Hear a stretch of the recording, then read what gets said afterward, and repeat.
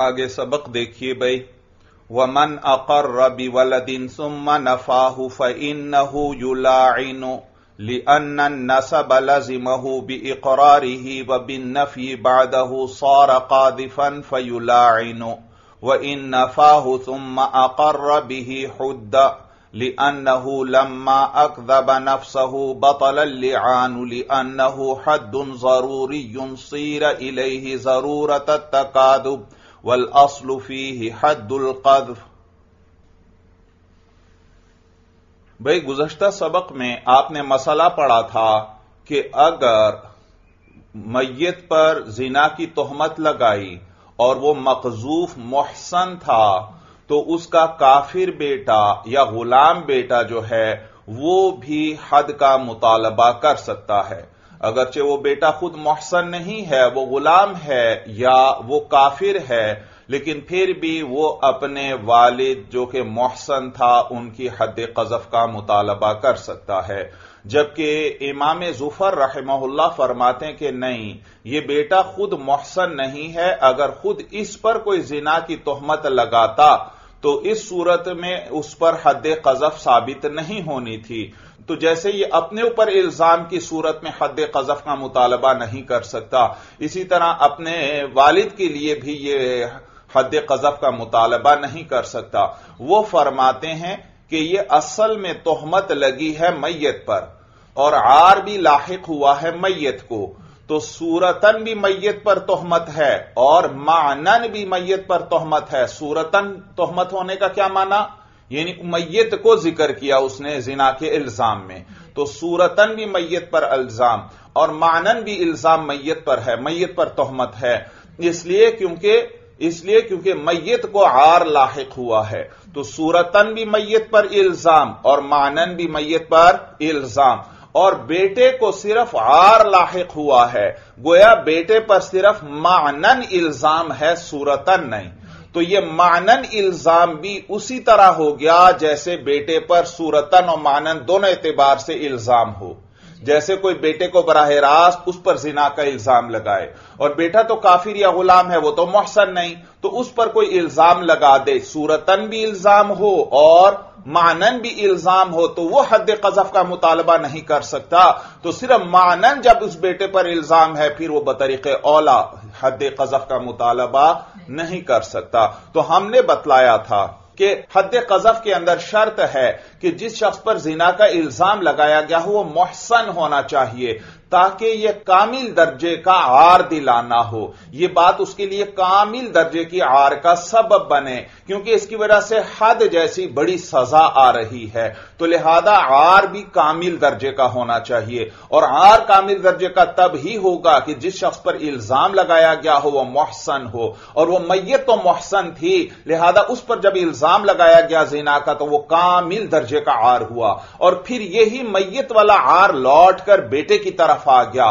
तो बेटे के लिए भी जो आर हुआ, वो कामिल दर्जे का हुआ। लिहाजा इसलिए बेटा जो है, मैयत की हद कजफ का मुतालबा कर सकता है। जबकि इमाम जुफर ने इसको कयास किया था बेटे के के ऊपर इल्ज़ाम लगाने पर। हम कहते हैं, नहीं, आप बेटे पर इल्ज़ाम लगाने के उसका कयास नहीं कर सकते क्योंकि दोनों मुख्तलिफ़ हैं। मैयत पर जो इल्ज़ाम लगा था, वो कामिल दर्जे का आर दिलाने वाला था।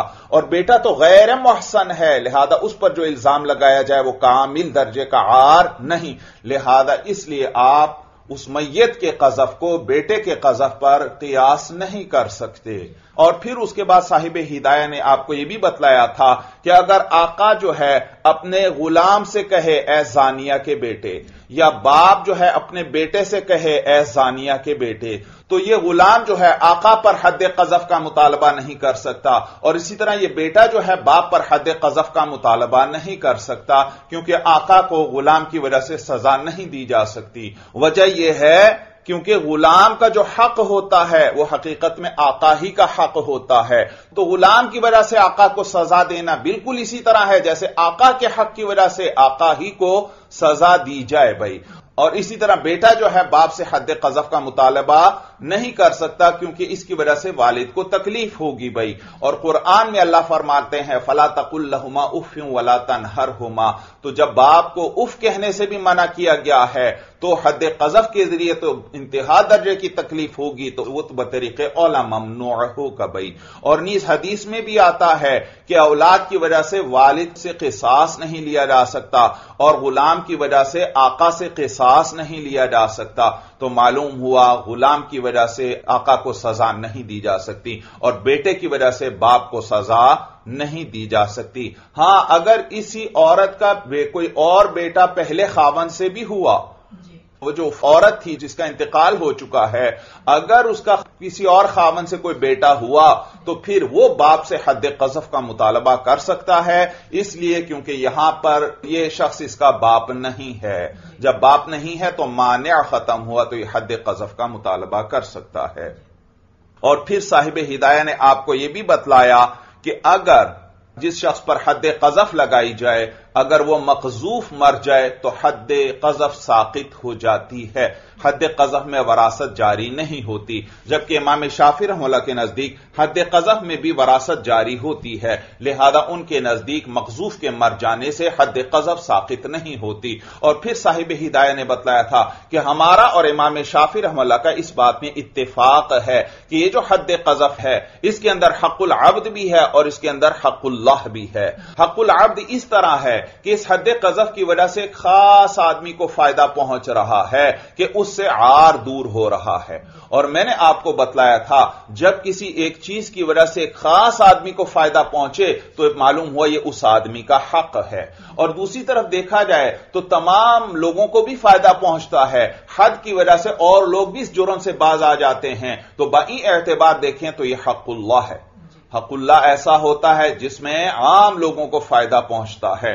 तो मालूम हुआ, इस हद कजह में हकुल्लाह भी है और हकुल अब्द भी है। और साहिब हिदाया ने बतलाया कि बहुत से अहकाम है जिनसे पता चलता है यह हकुल अब्द है, और बहुत से अहकाम है जिनसे पता चलता है यह हकुल्लाह है। बाज वो अहकाम जिनसे पता चलता है कि यह हकुल अब्द है। मसलन एक तो यह कि जमाना ज़्यादा गुजर जाए, फिर भी हद कजफ साकित नहीं होती। मालूम हुआ यह हकुल अब्द है। अगर हकुल्ला होता तो जमाना ज़्यादा गुजरने से इसने साकित हो जाना था। और नीज हकुल अब्द होने की एक अलामत यह है हदुल कजफ के अंदर एक दफ़ा जब इकरार कर ले तो फिर रुजू जायज़ नहीं है। इससे भी पता चलता है कि यह हकुल अब्द है। हकुल्लाह के अंदर तो रुजू जायज़ होता है भाई। और नीज इसी तरह इसके अंदर दावा भी शर्त है हदुल कजफ के अंदर। इससे भी पता चलता है कि यह हकुल अब्द है। जबकि इसी तरह बाज अहकाम से पता चलता है कि यह हकुल्लाह है। मसलन एक तो यह कि इसके अंदर मकजूफ अगर माफ़ करना चाहे तो माफ़ नहीं कर सकता। जब एक दफ़ा काजी के पास बात पहुँच गई, गवाही पेश हो गई, अब मकजूफ माफ़ करना चाहता है तो वह माफ़ नहीं कर सकता। मालूम हुआ यह इस बंदे का हक नहीं है। अगर इसका हक होता, फिर तो इसका माफ़ करना सही होता भाई। लेकिन इसका माफ़ करना सही नहीं। यह बतला रहा है कि यह हकुल्लाह है भाई और नीस, एक और हुक्म जिससे पता चलता है कि हकुल्ला है यह कि इसके अंदर जो काजिफ है, उससे कसम नहीं ली जाती। मकजूफ अगर दो गवाह पेश कर दे, फिर तो काजिफ पर हद कजब साबित हो जाएगी। लेकिन अगर मकजूफ दो गवाह पेश न कर सका तो काजिफ पर इल्ज़ाम लगाने वाले पर कसम नहीं आएगी। और यह अलामत है कि यह हकुल अब्द नहीं है। अगर यह हकुल अब्द होता तो इसके अंदर मुनकिर पर कसम आती भाई। और नीस इसी तरह गुलामी की वजह से यह हद कजफ निसफ हो जाती है। मालूम हुआ यह हकुल्ला है, हकुल अब्द नहीं। अगर हकुल अब्द होता तो आधा ना होता भाई। बात समझ में आ गई। तो साहिब हिदाया फरमाते हैं कि इस हद कजफ के अंदर दोनों जिहतें हैं। हक शरा होने की जिहत भी है और हकुल अब्द होने की जिहत भी है। इसमें हमारा और इमाम शाफी रहमल्ला का इत्तेफाक है। अलबत्ता फिर इसके बाद गालिब कौन सा हक है? हकुल अब्द है या हकुल्ला है? तो इमाम शाफी रहमल्ला जो है वो इस बात की तरफ़ गए हैं कि हकुल अब्द जो है वो गालिब है। हकुल अब्द गालिब है। उन्होंने हकुल अब्द को गालिब करार दिया है इस एतबार से कि बंदा मोहताज है। और अल्लाह तो किसी चीज़ के मोहताज नहीं अल्लाह तो हर चीज़ से बेनियाज है भाई। तो उन्होंने इसको बंदे का हक करार दिया है। जबकि हमारे नज़दीक इसके अंदर गालिब जो है वह हक शरा है। वजह यह कि जब इसको हक शरा करार दिया जाएगा तो इसमें बंदे के हक की भी रियायत हो गई, क्योंकि अल्लाह तो सबके हकूक की हिफाजत फरमाने वाले हैं। तो जब अल्लाह का हक गालिब करार दे दिया तो भी बंदे के हक की हिफाजत हो गई। लेकिन अगर इसका बरअक्स हो, यानी बंदे के हक को गालिब करार दिया जाए तो फिर अल्लाह के हक को तो सिरे से ही बातिल करार देना पड़ेगा। वजह यह कि अल्लाह का हक जो वसूल किया जाता है वह सिर्फ़ नायब होने के एतबार से वसूल किया जाता है। अल्लाह का हक जो है वह खलीफतुल मुस्लिमीन, या जो इमाम है मुसलमानों का वह वसूल करता है और वह अल्लाह का नायब होकर यह हक वसूल करता है। तो वो खुद वसूल करता है या जिनको वो मुकर्र करता है, जो उसके काजी या गवर्नर वगैरह होते हैं, वो उस खलीफा के नाइब होकर वो इस हक को वसूल करते हैं। मालूम हुआ अल्लाह का हक वसूल करना हर एक का काम नहीं है, बल्कि सिर्फ़ बतौर नाइब के वसूल किया जा सकता है, और वो भी सिर्फ़ खलीफतुल मुस्लिमीन का काम है। तो आम लोग जो हैं वो तो अल्लाह के नाइब नहीं वो तो अल्लाह का हक वसूल नहीं कर सकते। तो देखो, इस सूरत में अगर बंदे के हक को गालिब करार दे दिया जाए तो अल्लाह के हक को बातिल करार देना पड़ेगा। इसलिए क्योंकि बंदे तो अल्लाह के नाइब नहीं है कि वह अल्लाह का हक वसूल करें भाई। तो लिहाजा इसके अंदर हकुल्लाह को गालिब करार दिया जाए तो बंदे के हक की भी रियायत हो जाती है। और हकुल अब्द को गालिब करार दिया जाए तो अल्लाह के हक को बातिल करार देना लाजिम आता है। लिहाजा उस सूरत को इख्तियार किया जाएगा, जिसमें दोनों की रियायत हो जाए, और वो इसी सूरत में है कि अल्लाह के हक को गालिब करार दिया जाए। इस पर यहाँ इश्काल होता है कि ए अहनाफ अजीब बात है। यहाँ पर इमाम शाफिर हमला ने बंदे के हक को गालिब करार दिया तो आपने अल्लाह के हक को गालिब करार दे दिया। हालाँकि कई मकाम पर आप खुद बंदे के हक को गालिब करार देते हैं। और यही दलील पेश करते हैं आप कि बंदा मोहताज है और अल्लाह बेनियाज है, लिहाजा बंदे के हक को गालिब होना चाहिए। तो उसका जवाब याद रखिएगा, जवाब यह कि ऐसी सूरत जहाँ दोनों हकों को जमा करना मुमकिन ही ना हो। तो फिर वहाँ तो हम भी बंदे के हक को गालिब करार देते हैं क्योंकि बंदा मोहताज है और अल्लाह ताला गालिब हैं। लेकिन ऐसा मकाम जहाँ दोनों हकों को जमा करना मुमकिन हो तो वहाँ हम इसी सूरत को इख्तियार करते हैं और यहाँ हद कजफ के अंदर दोनों हकों को जमा करना मुमकिन है कि अल्लाह के हक को गालिब करार दे दिया जाए, तब भी बंदे के हक की रियायत हो जाती है। अगर दोनों हकों की रियायत मुमकिन ना होती अगर दोनों हकूक को जमा करना मुमकिन ना होता तो फिर हम भी बंदे के हक को गालिब करार दे देते, जैसे इमाम शाफी रहमुल्ला ने किया है भाई। और फिर उसके बाद साहिब हिदाया ने बतलाया था कि ये वो मशहूर जबता है, जिस पर बहुत से मुख्तलिफ़ फुरुआत निकलती हैं, जिनमें हमारा और शवाफिया का इख्तिलाफ है। शवाफिया के नज़दीक, चूँकि यह हद कजफ जो है, हकुल अब्द है, लिहाजा इसके अंदर वरासत भी जारी होगी। और नीज इसके अंदर मकजूफ जो है, वो माफ़ भी कर सकता है। और नीज इसके अंदर उनके नज़दीक इवज लेना भी जायज़ है, क्योंकि यह बंदे का हक है। लिहाजा हद कजफ के बदले में वो माल भी ले सकता है। और नीज इसी तरह उनके नज़दीक इसमें तदाखुल भी नहीं होगा। अगर बंदे अलग अलग हैं, या इल्ज़ाम अलग अलग जिना का है तो फिर इसमें तदाखुल भी नहीं होगा। एक ही आदमी पर एक ही जीना का इल्ज़ाम बार बार लगाए, फिर तो कहते हैं तदाखुल हो जाएगा शवाफे के नज़दीक। क्योंकि एक ही बंदे पर एक ही जीना का इल्ज़ाम कई दफ़ा लगाया है तो वो एक ही जीना का इल्ज़ाम है, लिहाजा वहाँ तो तदाखुल होगा, एक ही हद आएगी। लेकिन अगर मुख्तलिफ़ बंदों पर जीना के इल्ज़ाम लगाए हैं तो यह हकुल अब्द है, और हकुल अब्द के अंदर तदाखुल नहीं होता। लिहाजा हर बंदे के लिए अलग अलग हद कजफ इसको लगाई जाएगी। या एक ही आदमी पर इल्ज़ाम लगाया है, लेकिन अलग अलग जिना का इल्ज़ाम लगाया है। एक दफ़ा इल्ज़ाम लगाया कि तुमने फुला वक्त फुला औरत से जिना किया था। दूसरे वक्त इल्ज़ाम लगाया कि तुमने फुला दूसरी औरत के साथ फला वक्त जिना किया था। तीसरे वक्त एक तीसरी औरत का इल्ज़ाम उसी एक आदमी पर लगाया। तो इमाम शाफी रहमल्ला फरमाते हैं कि यहाँ पर तीनों अलग अलग जिना है। एक ही आदमी पर इल्ज़ाम है लेकिन तीन अलग अलग जीना का इल्ज़ाम है।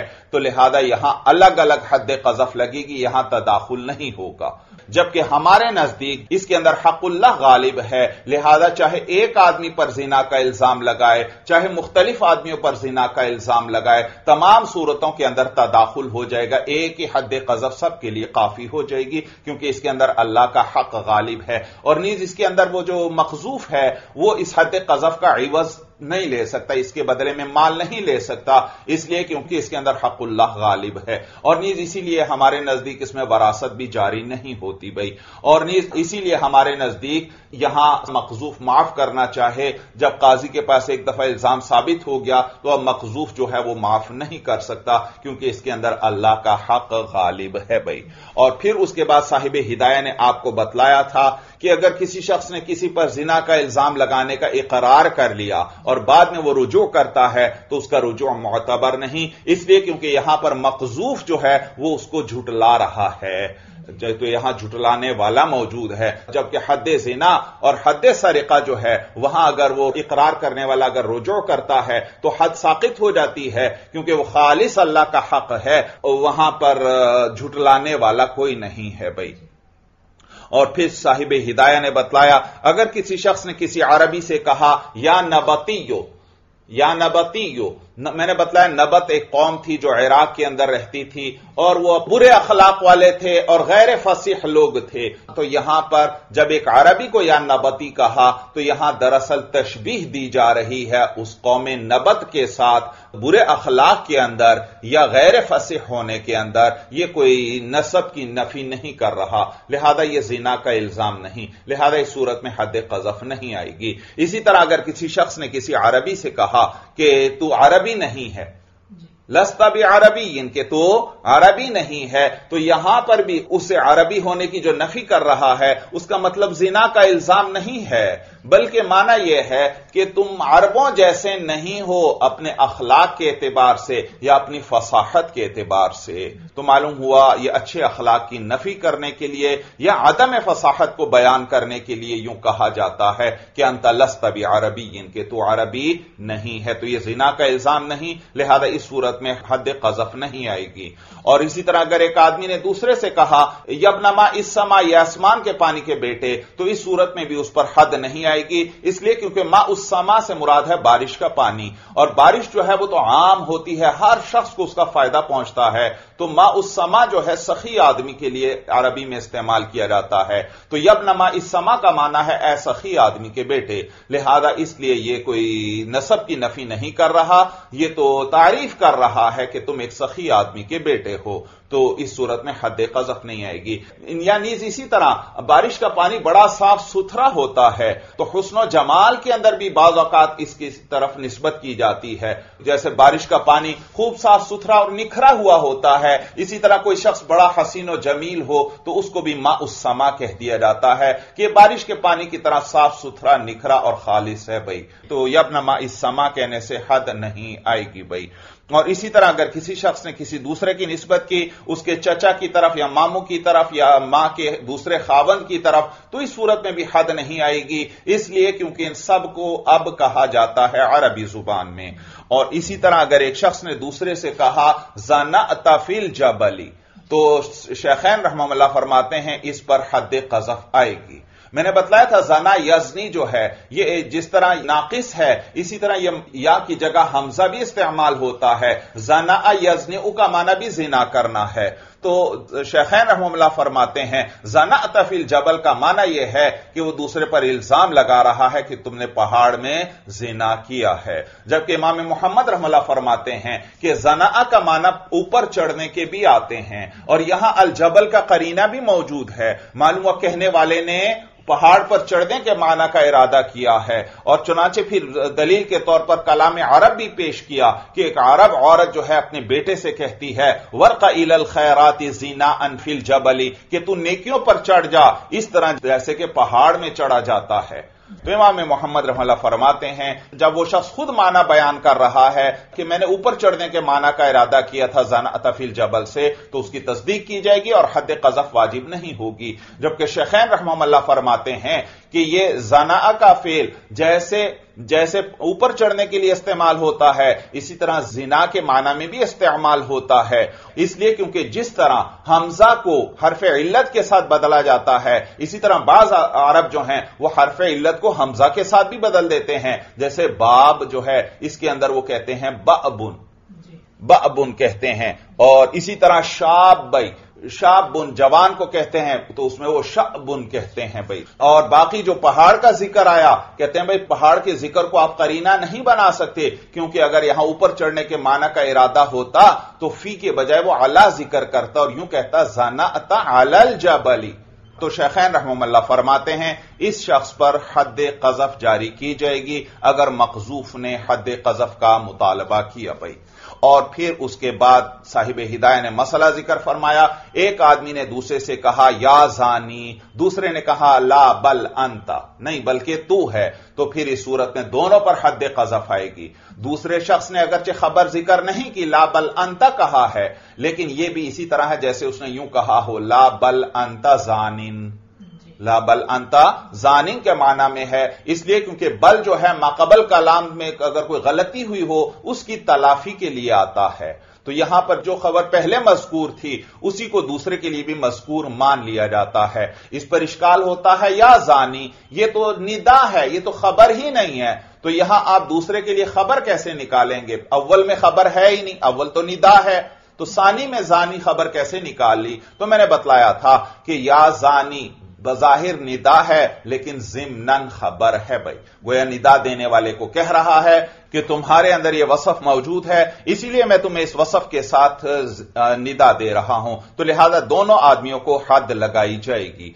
और जबकि इसके मुकाबले में, अगर एक शख्स ने अपनी बीवी से कहा, या जानिया, और उसने जवाब में कहा, ला बल अंता तो इस सूरत में सिर्फ़ औरत को हद कजफ लगाई जाएगी, अगर खावन ने मुतालबा किया।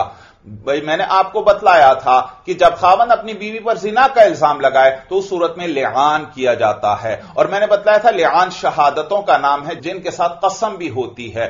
मसा खावन ने बीवी पर जिना का इल्ज़ाम लगाया, या खावन ने अपने से बच्चे के नसब की नफी की तो बीवी उसको काजी के पास ले जा सकती है और काजी फिर दोनों में लिहान करवाएगा। लिहाजा, खावन पहले चार मरतबा शहादतें देगा कसम के साथ, कि मैं गवाही देता हूँ, वल्लाह मैंने इस औरत पर जो जिना का इल्ज़ाम लगाया है, मैं उसमें सच्चा हूँ। चार मरतबा यूँ कहेगा और पांचवी मरतबा कहेगा, अगर मैं अपने इस इल्ज़ाम में झूठा हूँ तो मुझ पर अल्लाह की लानत हो गई। और औरत जो है, फिर उसके बाद औरत जो है, वो इसी तरह चार शहादतें देगी और कहेगी कि मैं गवाही देती हूँ कि वल्ला इस शख्स ने मुझ पर जो जिना का इल्ज़ाम लगाया है, इसमें झूठा है।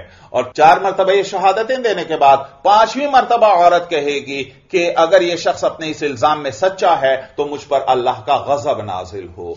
और फिर उसके बाद खावंद और बीवी में काजी जुदाई करवा देगा।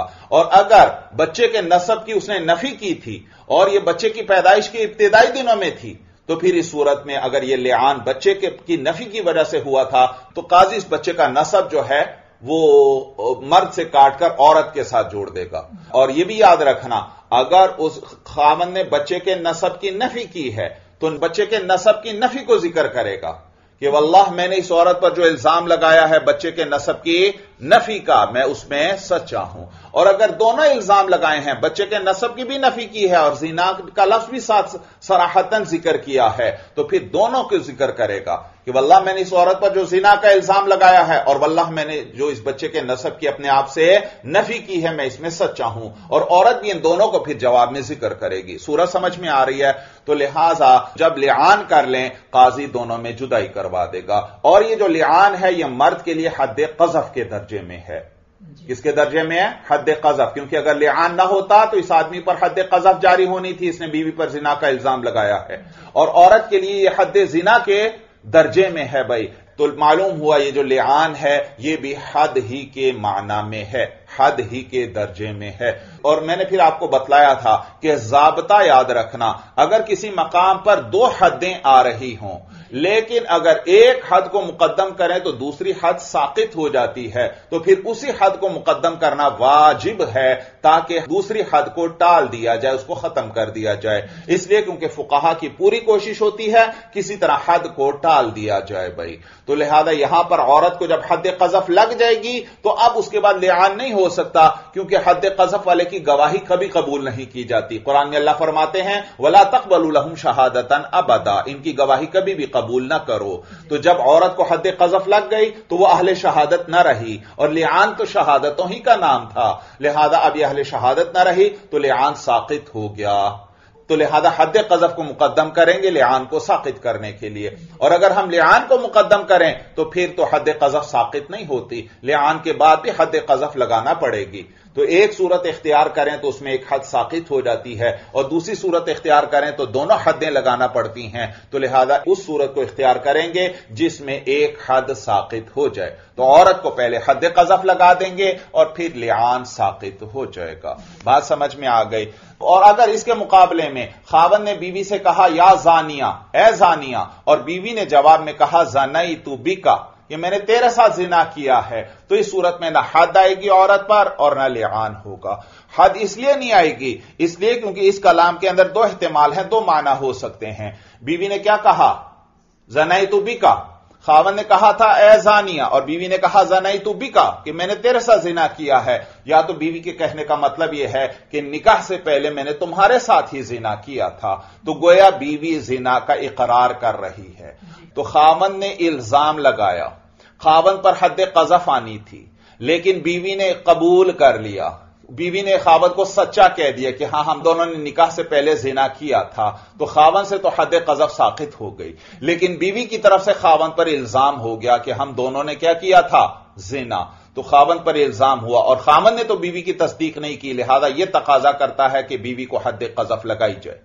और लेकिन अगर इसमें दूसरे माना का भी इस्तेमाल है। वो जो औरत ने कहा, जाना ही तू भी का, मैंने तुझसे जिना किया है। इसमें दूसरे माना का भी इस्तेमाल है कि हो सकता है बीवी के कहने का मतलब ये हो कि ये जो तुमने मेरे साथ हलाल वती की है, अगर इसको तुम जिना कहते हो तो हाँ, ये जिना मैंने तुम्हारे साथ किया है, क्योंकि इसके अलावा तो मैंने किसी और को अपने ऊपर कुदरत नहीं दी। और उमूमन इस किस्म के मौका पर यही माना मुराद होता है। लेकिन बहरहाल पहले माना का भी एहतमाल तो आ गया। तो अगर यह दूसरा माना मुराद ले लिया जाए तो इसके अंदर तो बीवी जीना की बात कर ही नहीं रही। वो तो उसी हलालवती को वैसे जीना का नाम दे रही है। तो इस सूरत में लिहान आता है भाई। तो अगर पहला माना लिया जाए कि निकाह से पहले वाला जीना मुराद लिया जाए तो औरत पर हद कजफ आती है। और दूसरा माना मुराद लिया जाए कि इस हलालवती को वो जीना कह रही है तो फिर इस सूरत के अंदर लिहान आता है। तो शक आ गया हद कजफ के आने में और लियान के आने में शक आ गया क्योंकि दोनों माना का इस्तेमाल है। और आप जानते हैं कि शक की वजह से हदूद साकित हो जाती हैं। तो ना हद कजफ आएगी और ना लियान आएगा, क्योंकि लियान भी हद के माना में है। बात समझ में आ गई। अब आइए आज के सबक पर। व मन अकर रबी वलदिन सुम्मा नफाहू फ़िन युलाइनु। सूरत मसला यह कि एक शख्स ने अपने बच्चे के नसब का इकरार किया और फिर उसके बाद उसकी नफी कर दी। पहले बच्चे के नसब का इकरार किया और फिर उसकी नफी कर दी। या इसका बरअक्स होता है कि पहले बच्चे के नसब की नफी की और उसके बाद बच्चे के नसब का इकरार किया। मैंने आपको बतलाया था कि अगर कोई शख्स जो है बच्चे के नसब की नफी करना चाहता है तो बिल्कुल बच्चे की पैदाइश के इब्तदाई दिनों में वह नफी कर सकता है। उन दिनों में, जिन दिनों के अंदर बच्चे के लिए चीज़ें खरीदी जाती हैं, जिन दिनों में बच्चे की मुबारकबादें वसूल की जाती हैं तो अगर कोई शख्स अपने से बच्चे के नसब की नफी करना चाहता है तो उन्हीं दिनों में इसको नसब की नफी करना पड़ेगी। अगर उन दिनों वो खामोश रहता है और बाद में आगे चलकर कुछ मुद्दत के बाद वो नसब की नफी करता है तो इस सूरत में याद रखो, नसब की नफी नहीं होगी। अलबत्ता फिर लिआन करना पड़ेगा। लिआन बीवी अगर काजी के पास चली जाती है किसने मेरे बच्चे के नसब की नफी की है मालूम हुआ ये मुझ पर जिना का इल्ज़ाम लगा रहा है तो फिर काजी दोनों में लेआन करवाएगा और लेआन के बाद दोनों में जुदाई करवा देगा। लेकिन बच्चे का नसब इसी आदमी से साबित है। इसी आदमी से साबित है क्योंकि इसने इब्तदाई दिनों में नसब की नफी नहीं की थी।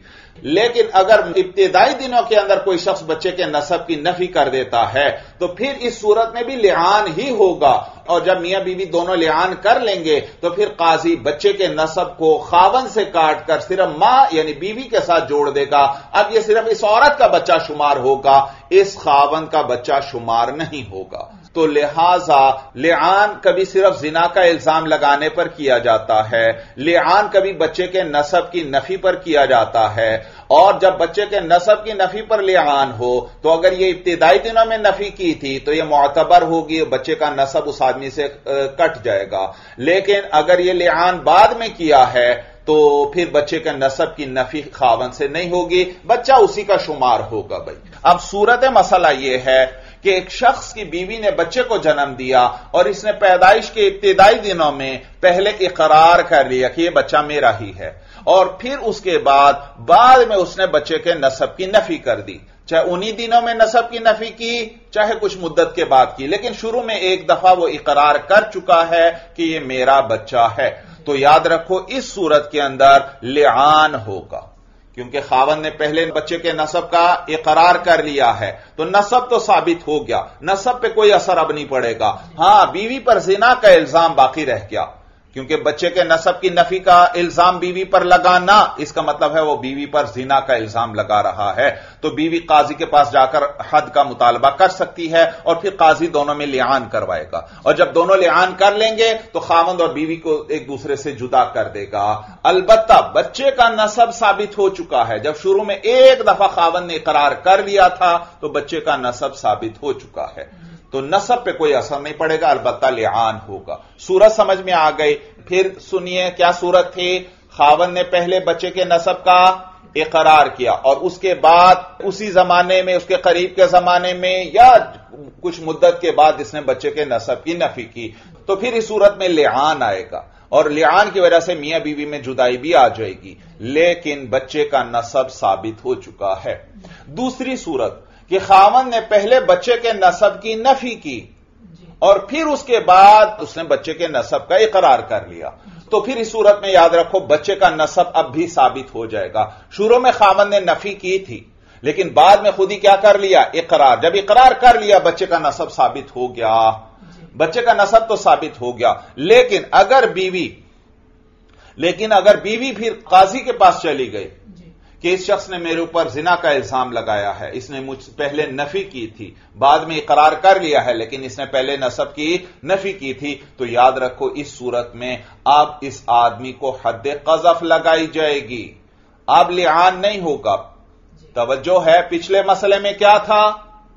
पहले उसने पहले उसने इकरार किया था बच्चे का और फिर बाद में नफी की है वहाँ लिहान था। लेकिन यहाँ पर पहले नफी की तो गोया जिना का इल्ज़ाम लगा दिया और फिर इकरार किया गोया बतला दिया कि मैंने झूठा इल्ज़ाम लगाया था। जब झूठा इल्ज़ाम लगाया था तो अब इस आदमी को हद कजफ लगाई जाएगी और लियान नहीं होगा। भाई लियान क्यों नहीं होगा? वजह यह कि लियान के अंदर मियाँ बीवी दोनों एक दूसरे को झुटलाते हैं। लियान में दोनों एक दूसरे को झुटलाते हैं। लिहाजा जब खामन ने एक दफ़ा बच्चे के नसब की नफी कर दी तो गोया बीवी पर जिना का इल्ज़ाम लगाया। और बीवी इसको झुटला रही है कि नहीं मैंने जिना नहीं किया। और खावन क्या कह रहा है? तुमने जिना किया है। और फिर बाद में खावन इकरार कर लेता है कि नहीं हाँ ये मेरा ही बच्चा है। गोया खावन ने अपने आप को ही झूठा करार दे दिया कि वो जो मैंने तुम पे पहले इल्ज़ाम लगाया था उसमें मैं झूठा था। जब झूठा था तो अब खावन को हद कजफ लगाई जाएगी। लियान नहीं होगा। तवज्जो है लियान क्यों नहीं होगा? फिर समझें लियान क्यों नहीं होगा? क्योंकि लिहान उस वक्त होता है जब खावंद और बीवी दोनों एक दूसरे को झूठा करार दे रहे हों। खावंद कहता है, तूने जिना किया है, और बीवी कहती है, मैंने जिना नहीं किया। तो फिर लिहान होता है। तवज्जो है। और यहाँ पर खावंद ने पहले क्या कहा? तूने जिना किया है। और फिर क्या कहा? फिर बच्चे के नसब का इकरार कर लिया। गोया मान लिया कि मैंने इल्ज़ाम लगाया था। अपने आप को झूठा करार दे दिया। जब खामन ने खुद ही अपने आप को झूठा करार दे दिया तो फिर लियान कैसे होगा? जब खामन ने खुद ही अपने आप को झूठा करार दे दिया है तो लियान कहाँ से होगा? लियान में तो खावन कहता है, इस औरत ने जिना किया है, मैं सच्चा हूँ। और बीवी कहती है, मैंने जिना नहीं किया, ये आदमी झूठा है दोनों एक दूसरे को झूठा करार दे रहे होते हैं। तो वहाँ फिर लियान होता है। और यहाँ तो खावन ने खुद इकरार कर लिया कि मैंने जो इल्ज़ाम लगाया था, मैंने झूठ बोला था, मैंने इल्ज़ाम लगाया था तो अब लियान नहीं होगा, क्योंकि यहाँ एक दूसरे को झूठलाना मौजूद नहीं। खावंद अपने झूठा होने का इकरार कर चुका है।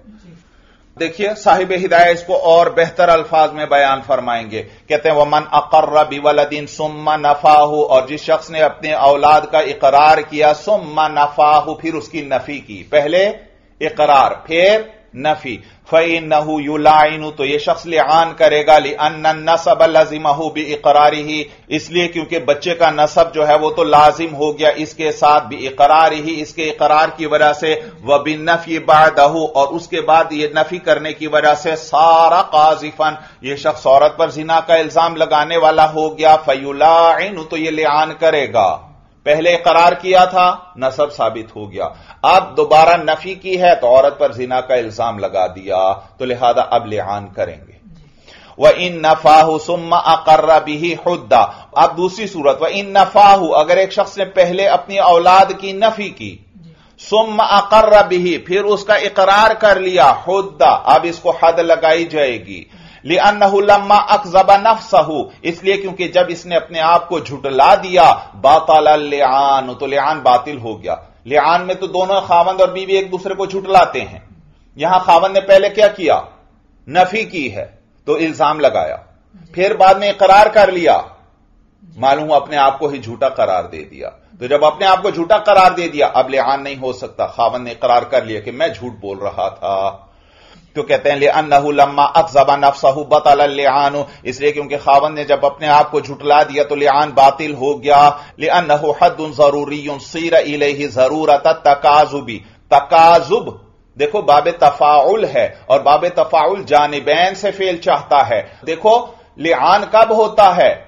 जब खामंद और बीवी दोनों एक दूसरे को झुटला रहे होते हैं खावंद कहता है, तूने जिना किया है। औरत कहती है, मैंने नहीं किया। तो दोनों एक दूसरे को झुटला रहे होते हैं तो वहाँ तकाजुब होता है। तकाजुब बाब तफाउल है। दोनों एक दूसरे को झूठा कह रहे हैं। तो कहते हैं लियान हद उन ज़रूरी इसलिए क्योंकि लियान जो है, वो ज़रूरी हद है। यानी ज़रूरत की वजह से आती है। लियान हद के माना में है, लेकिन ज़रूरत की वजह से आती है। और वो ज़रूरत क्या? कि खावंद और बीवी दोनों एक दूसरे को झुटला रहे हैं और यहाँ कोई सूरत नहीं थी फैसला करने की। लिहाजा लिहान करवा दिया गया। कहते हैं नहू हद ज़रूरी सीर इलही ज़रूरत तकादुबी। अच्छा ले अनहू हद उन ज़रूरी लिहाजा लिआन एक ऐसी हद है ज़रूरी ज़रूरी का तर्जमा यूँ करें ले अनहू हद उन ज़रूरी इसलिए क्योंकि लिआन ऐसी हद है ज़रूरी जो ज़रूरत की वजह से साबित है सीर इलही ज़रूरत तकादुबी बाहम एक दूसरे को झुटलाने की ज़रूरत की वजह से इसकी तरफ़ जाया जाता है सीरा इलही, इसकी तरफ़ जाया जाता है। ज़रूरत तकाजु भी एक दूसरे को झूठ लाने की ज़रूरत की वजह से। वल असलुफी ही हद्दुल कजफी, और असल तो इसके अंदर हद कजफ है। असल तो हद कजफ है, खावन ने बीवी पर जीना का इल्ज़ाम लगाया है तो असल में तो खावन को हद कजफ लगनी चाहिए थी, लेकिन चूँकि खावन और बीवी दोनों एक दूसरे को झुटला रहे हैं, इसलिए हमें मजबूरी की वजह से लिआन की तरफ़ जाना पड़ता है। और जब लिआन साकित हो गया खावन ने अपने आप को झुटला दिया। पहले कहा था, बच्चा मेरा नहीं, और फिर कह दिया, बच्चा मेरा है। मालूम है इसने अपने आप को ही झूठा करार दे दिया। तो अब लिआन की तरफ़ तो अब हम नहीं जाएँगे, क्योंकि लिआन तो ज़रूरत की वजह से था। अब असल की तरफ़ जाएँगे, और असल क्या है? हद कजफ, के खावन ने बीवी पर जिना का इल्ज़ाम लगाया है तो खावन को हद कजफ लगाई जाएगी। तो यह माना है, वल असलुफी हदुल कजफी, और असल जो है, इसके अंदर हद कजफ है। फैजा बतल इलल असली तो जब बाहम एक दूसरे को झुटलाना बातिल हो गया तो युसारु इलल असली तो असल की तरफ़ जाया जाएगा भाई। वल वलदु वलदुहु फिल वजहैन इकरार भी साबिकन औ लाहिकन। अच्छा भाई, साहिब हिदाया यहाँ से बतला रहे हैं, ये मतन है, वल वलदु वलदुहु। बच्चा उसी आदमी का बच्चा है, चाहे पहले इकरार करे, फिर नफी करे। बस एक दफ़ा इकरार कर लिया तो नसब साबित हो चुका है। या पहले नफी करे, बाद में इकरार करे तो भी नसब साबित हो जाएगा। तो कहते हैं वल वलदू वलदहू, और औलाद जो है वो उसी आदमी की औलाद होगी। फिल वजहनी, दोनों सूरतों में ले इकरार ही भी साबिकन अवलाहिकन बवजह उस आदमी के इकरार कर लेने के साबिकन अवलाहिकन पहले या बाद में। यानी नफी से पहले या नफी के बाद दोनों में इसने इकरार किया है। वल्यान बितून कत नसबी। यहाँ इश्काल होता है। इश्काल ये कि जब पहली सूरत में जब इसने पहले इकरार किया और फिर नफी की आपने कहा उस सूरत के अंदर भी बच्चे का नसब साबित हो जाएगा। तो फिर तो लियान नहीं आना चाहिए। जब बच्चे का नसब साबित हो रहा है तो कहते हैं भाई लिआन के अंदर नसब की नफी ज़रूरी नहीं है हम पहले बयान कर चुके हैं। लिआन के अंदर नसब की नफी ज़रूरी नहीं बल्कि बच्चा ना हो फिर भी लिआन हो जाता है। खावन ने जिना का इल्ज़ाम लगाया बच्चा ही ना हो फिर भी लिआन होता है। तो बच्चा हो तो भी उसमें लिआन के बावजूद बच्चे के नसब की नफी ज़रूरी नहीं।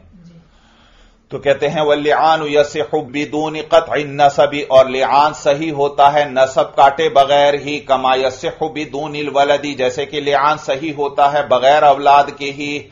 व इन काल बिबनी वला बिबनी की फला हद वला लिआना सूरत मसला ये, एक औरत ने बच्चे को जन्म दिया। खावन ने कहा, ना ये तेरा बेटा है, ना मेरा बेटा है।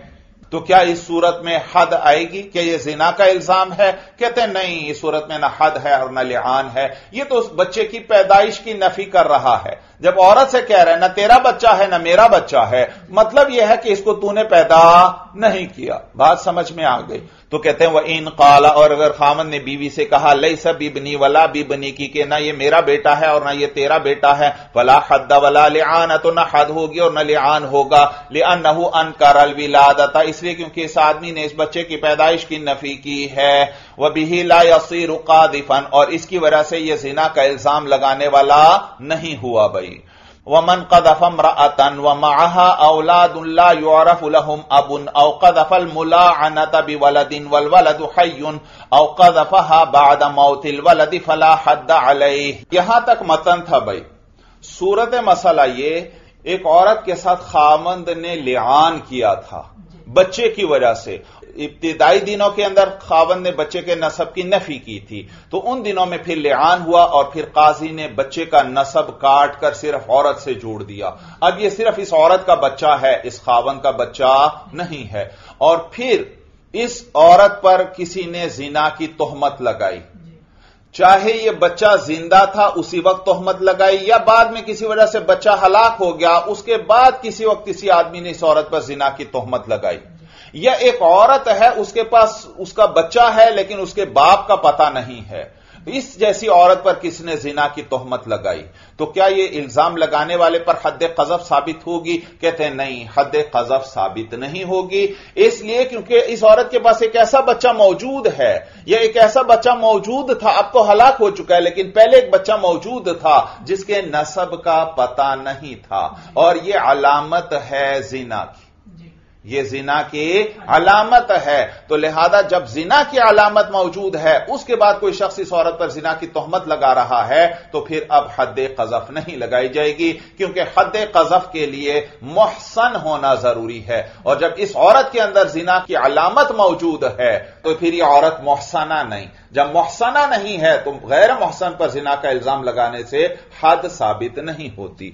तो कहते हैं, वमन कद अफम रतन और जिस शख्स ने किसी औरत पर जीना की तोहमत लगाई जीना का इल्ज़ाम लगाया व माहा औलादुल्ला यूरफुलहम अबुन और उस औरत के साथ ऐसी औलाद है, ला यूरफुलहम अबुन के उनके बाप का पता नहीं है, उनके बाप को कोई जानता नहीं है।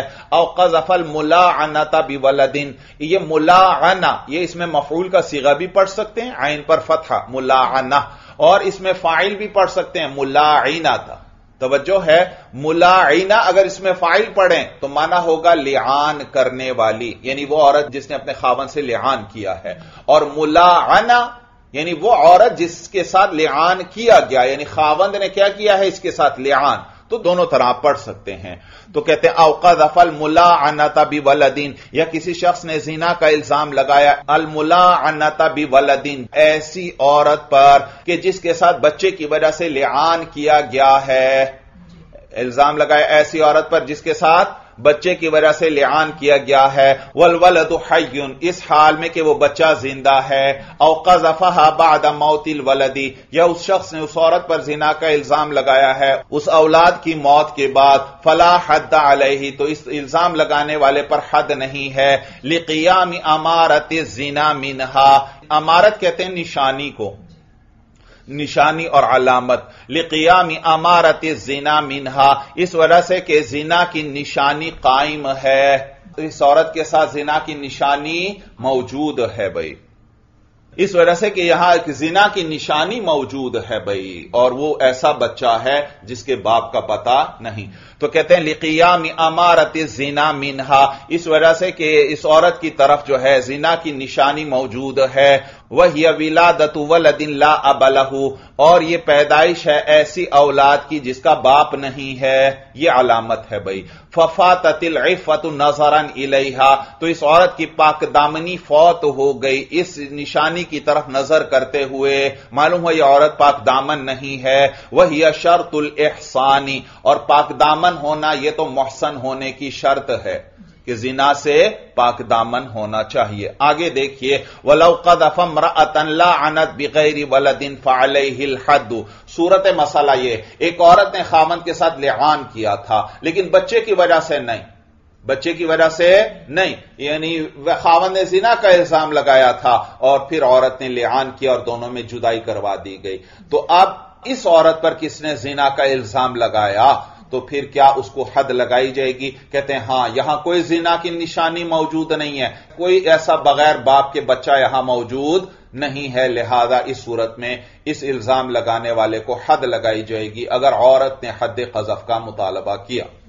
तो कहते हैं वलौकद अनत बगैर वलदीन। और अगर किसी ने जीना का इल्ज़ाम लगाया, ऐसी औरत पर जिसने बगैर औलाद के लियान किया था हिल हद तो इस शख्स पर हद वाजिब होगी। लिन ईदामी अमारत जीना जीना की अलामत न पाए जाने की वजह से। काल वती अवत अनहरा मनफी गैर मिल की ही लम यू हद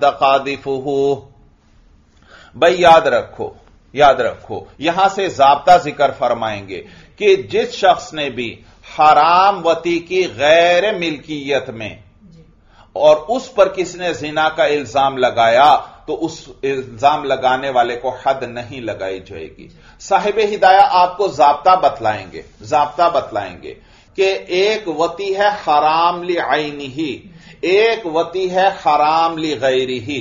अगर किसी शख्स ने ऐसी वती की जो हराम ली आईनी ही है जो अपनी जात के एतबार से ही हराम है तो इस जैसे शख्स को अगर कोई जिना का इल्ज़ाम लगा देगा तो उस पर हद जिना नहीं आएगी। क्यों? क्योंकि वती हराम ले आईनी ही वो वती जो अपनी जात के एतबार से ही हराम हो उसी को तो जीना कहते हैं।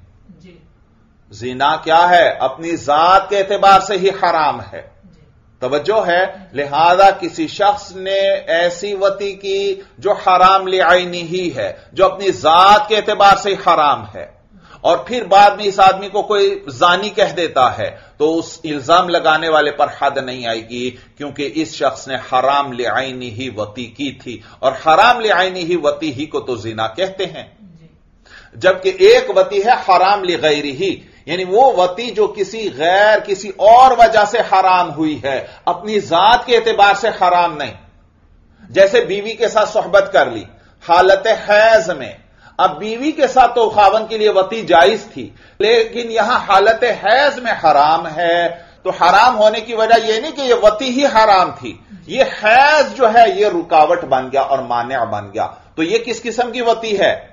ये अपनी जात की वजह से हराम है या हैज़ की वजह से हराम है?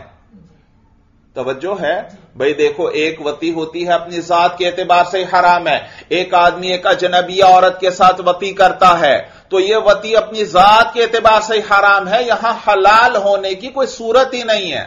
तो यह वती हराम है अपनी जात के एतबार से। और एक वती होती है जो अपनी जात के एतबार से हराम नहीं किसी सबब की वजह से हराम हो गई। जैसे एक शख्स जो है, अपनी बीवी से सोहबत करता है हालत हैज़ में।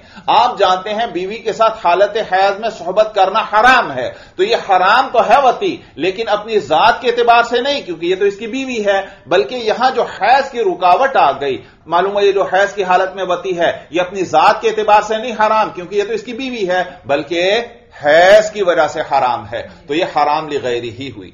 तवज्जो है मालूम हो हराम वती कितनी किस्म की है? दो। एक हराम ले आईनी ही एक हराम ले गैरी ही। याद रखो कोई शख्स अगर हराम ले आईनी ही वती कर दे और फिर कोई इसको जानी कह दे तो इस इल्ज़ाम लगाने वाले पर हद कजफ नहीं आएगी क्योंकि उस शख्स ने हराम ले आईनी ही वती की है और हराम ले आईनी ही वती ही तो जिना है भाई।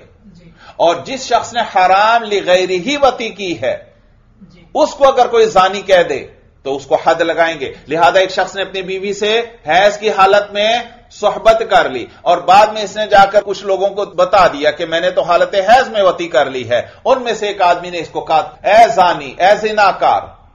तो याद रखो ये शख्स इसको काजी के पास ले जाकर हद कजफ का मुतालबा कर सकता है। क्योंकि इसने जो वती की वो अगरचे हराम थी लेकिन वो जिना नहीं। जिना तो कौन सी हराम वती होती है? जो हराम ले आईनी ही हो गई और यह तो हराम ले गैरी ही थी। सूरज समझ में आ गए फिर साहिब हिदाया आपको जाब्ता बतलाएँगे कि हमें पता कैसे चलेगा कि कोई वती हराम ली आईनी ही है या हराम ली गैरी ही है। तो साहिब हिदाया बड़ा आसान सा जबता आपको बतलाएँगे कि भाई जहाँ पर वती करने वाले की मिल्कियत ना हो वो हराम ले आईनी ही है। चाहे पूरी ही मिल्कियत ना हो या चाहे कुछ ना हो मसन एक आदमी किसी दूसरे की बांदी से वती करता है। यहाँ तो इस आदमी की मिल्कियत सिरे से है ही नहीं। तो यह वती हुई किसमें?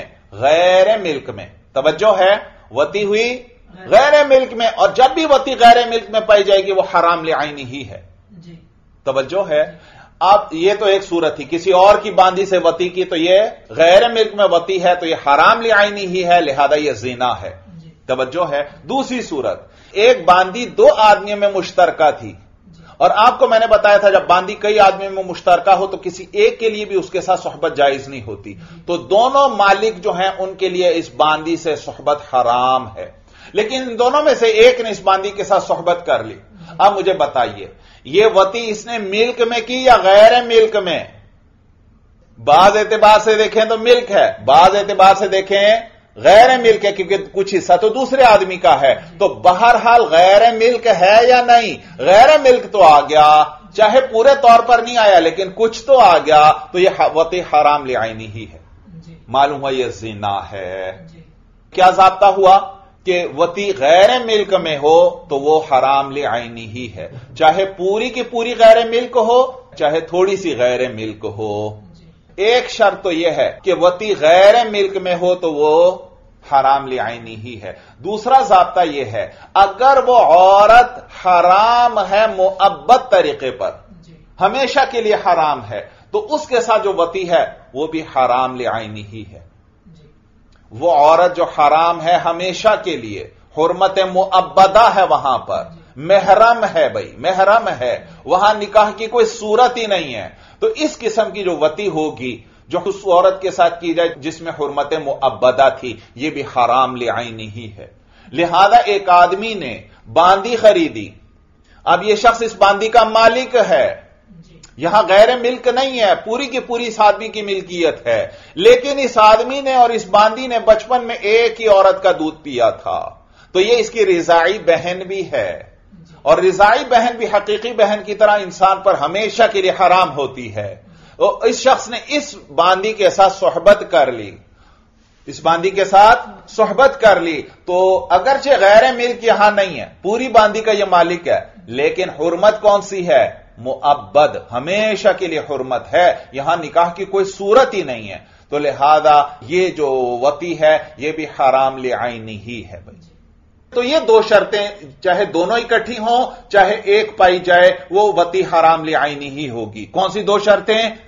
एक वो वती जो गैर मिल्क में हो और एक वो वती जो जो हुरमत मुअब्बदा के साथ की जाए। ये दोनों क्या है? हराम ले आईनी ही।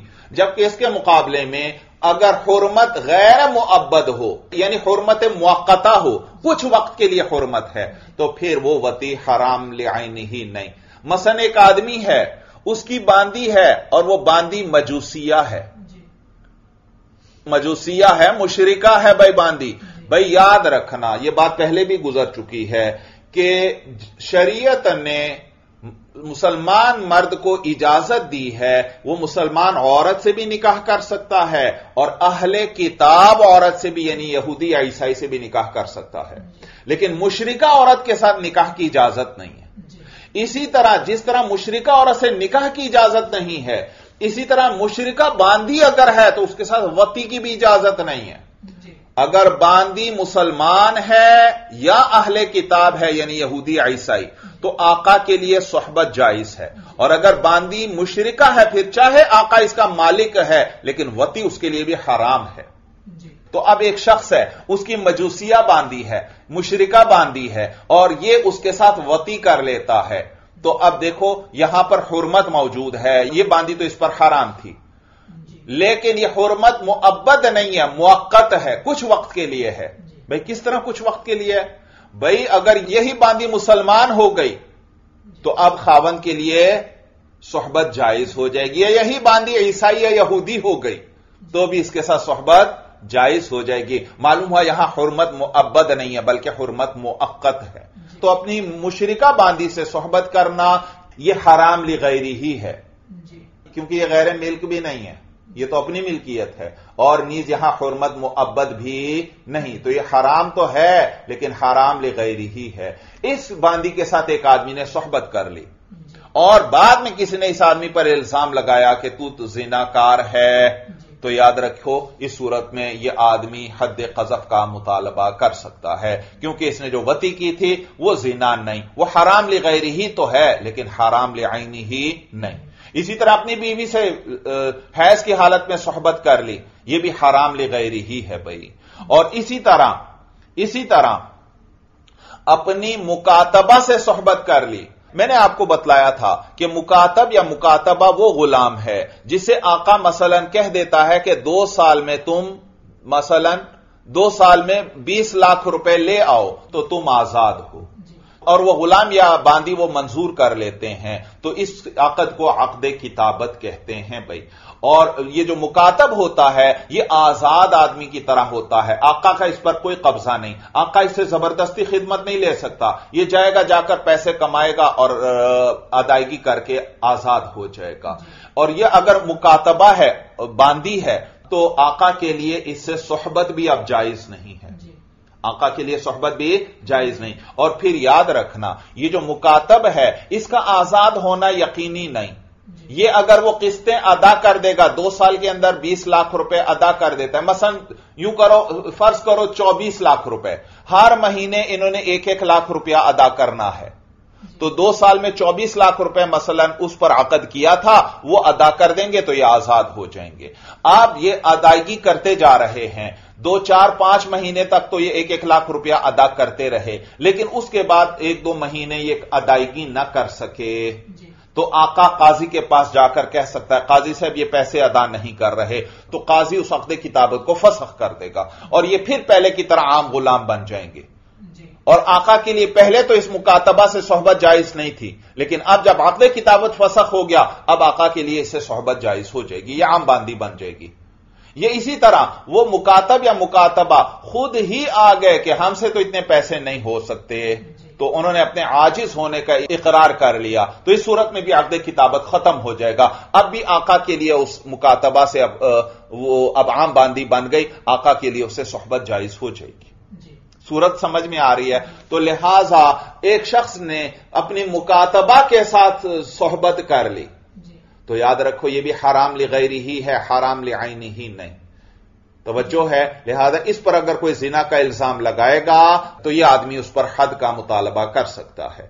क्योंकि मुकातबा के अंदर अगरचे आका का कब्जा नहीं है लेकिन जात का तो वो अभी भी मालिक है रकबा का तो अभी भी वो मालिक है भाई। और अगर ये अदायगी से आजिज आ गई या काजी ने अदायगी न करने की वजह से अकद किताबत फसख कर दिया तो फिर ये पहले जैसी आम बांदी बन जाएगी।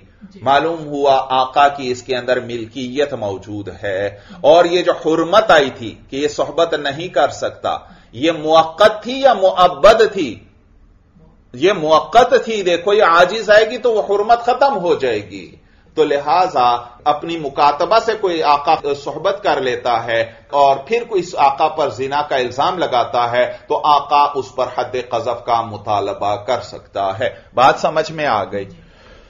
देखिए भाई, काला वमन वती अवत अन हराम फ़ी गैर मिल की ही, और जिस शख्स ने हराम वती की फ़ी गैर मिल की ही, अपनी गैर मिल्कियत के अंदर लम यू हद काजिफू तो इस शख्स पर इल्ज़ाम लगाने वाले को हद नहीं लगाई जाएगी, क्योंकि इसने अपने गैर मिल्कियत में वती की है, और गैर मिल्कियत में वती हराम लिआनी ही होती है भाई।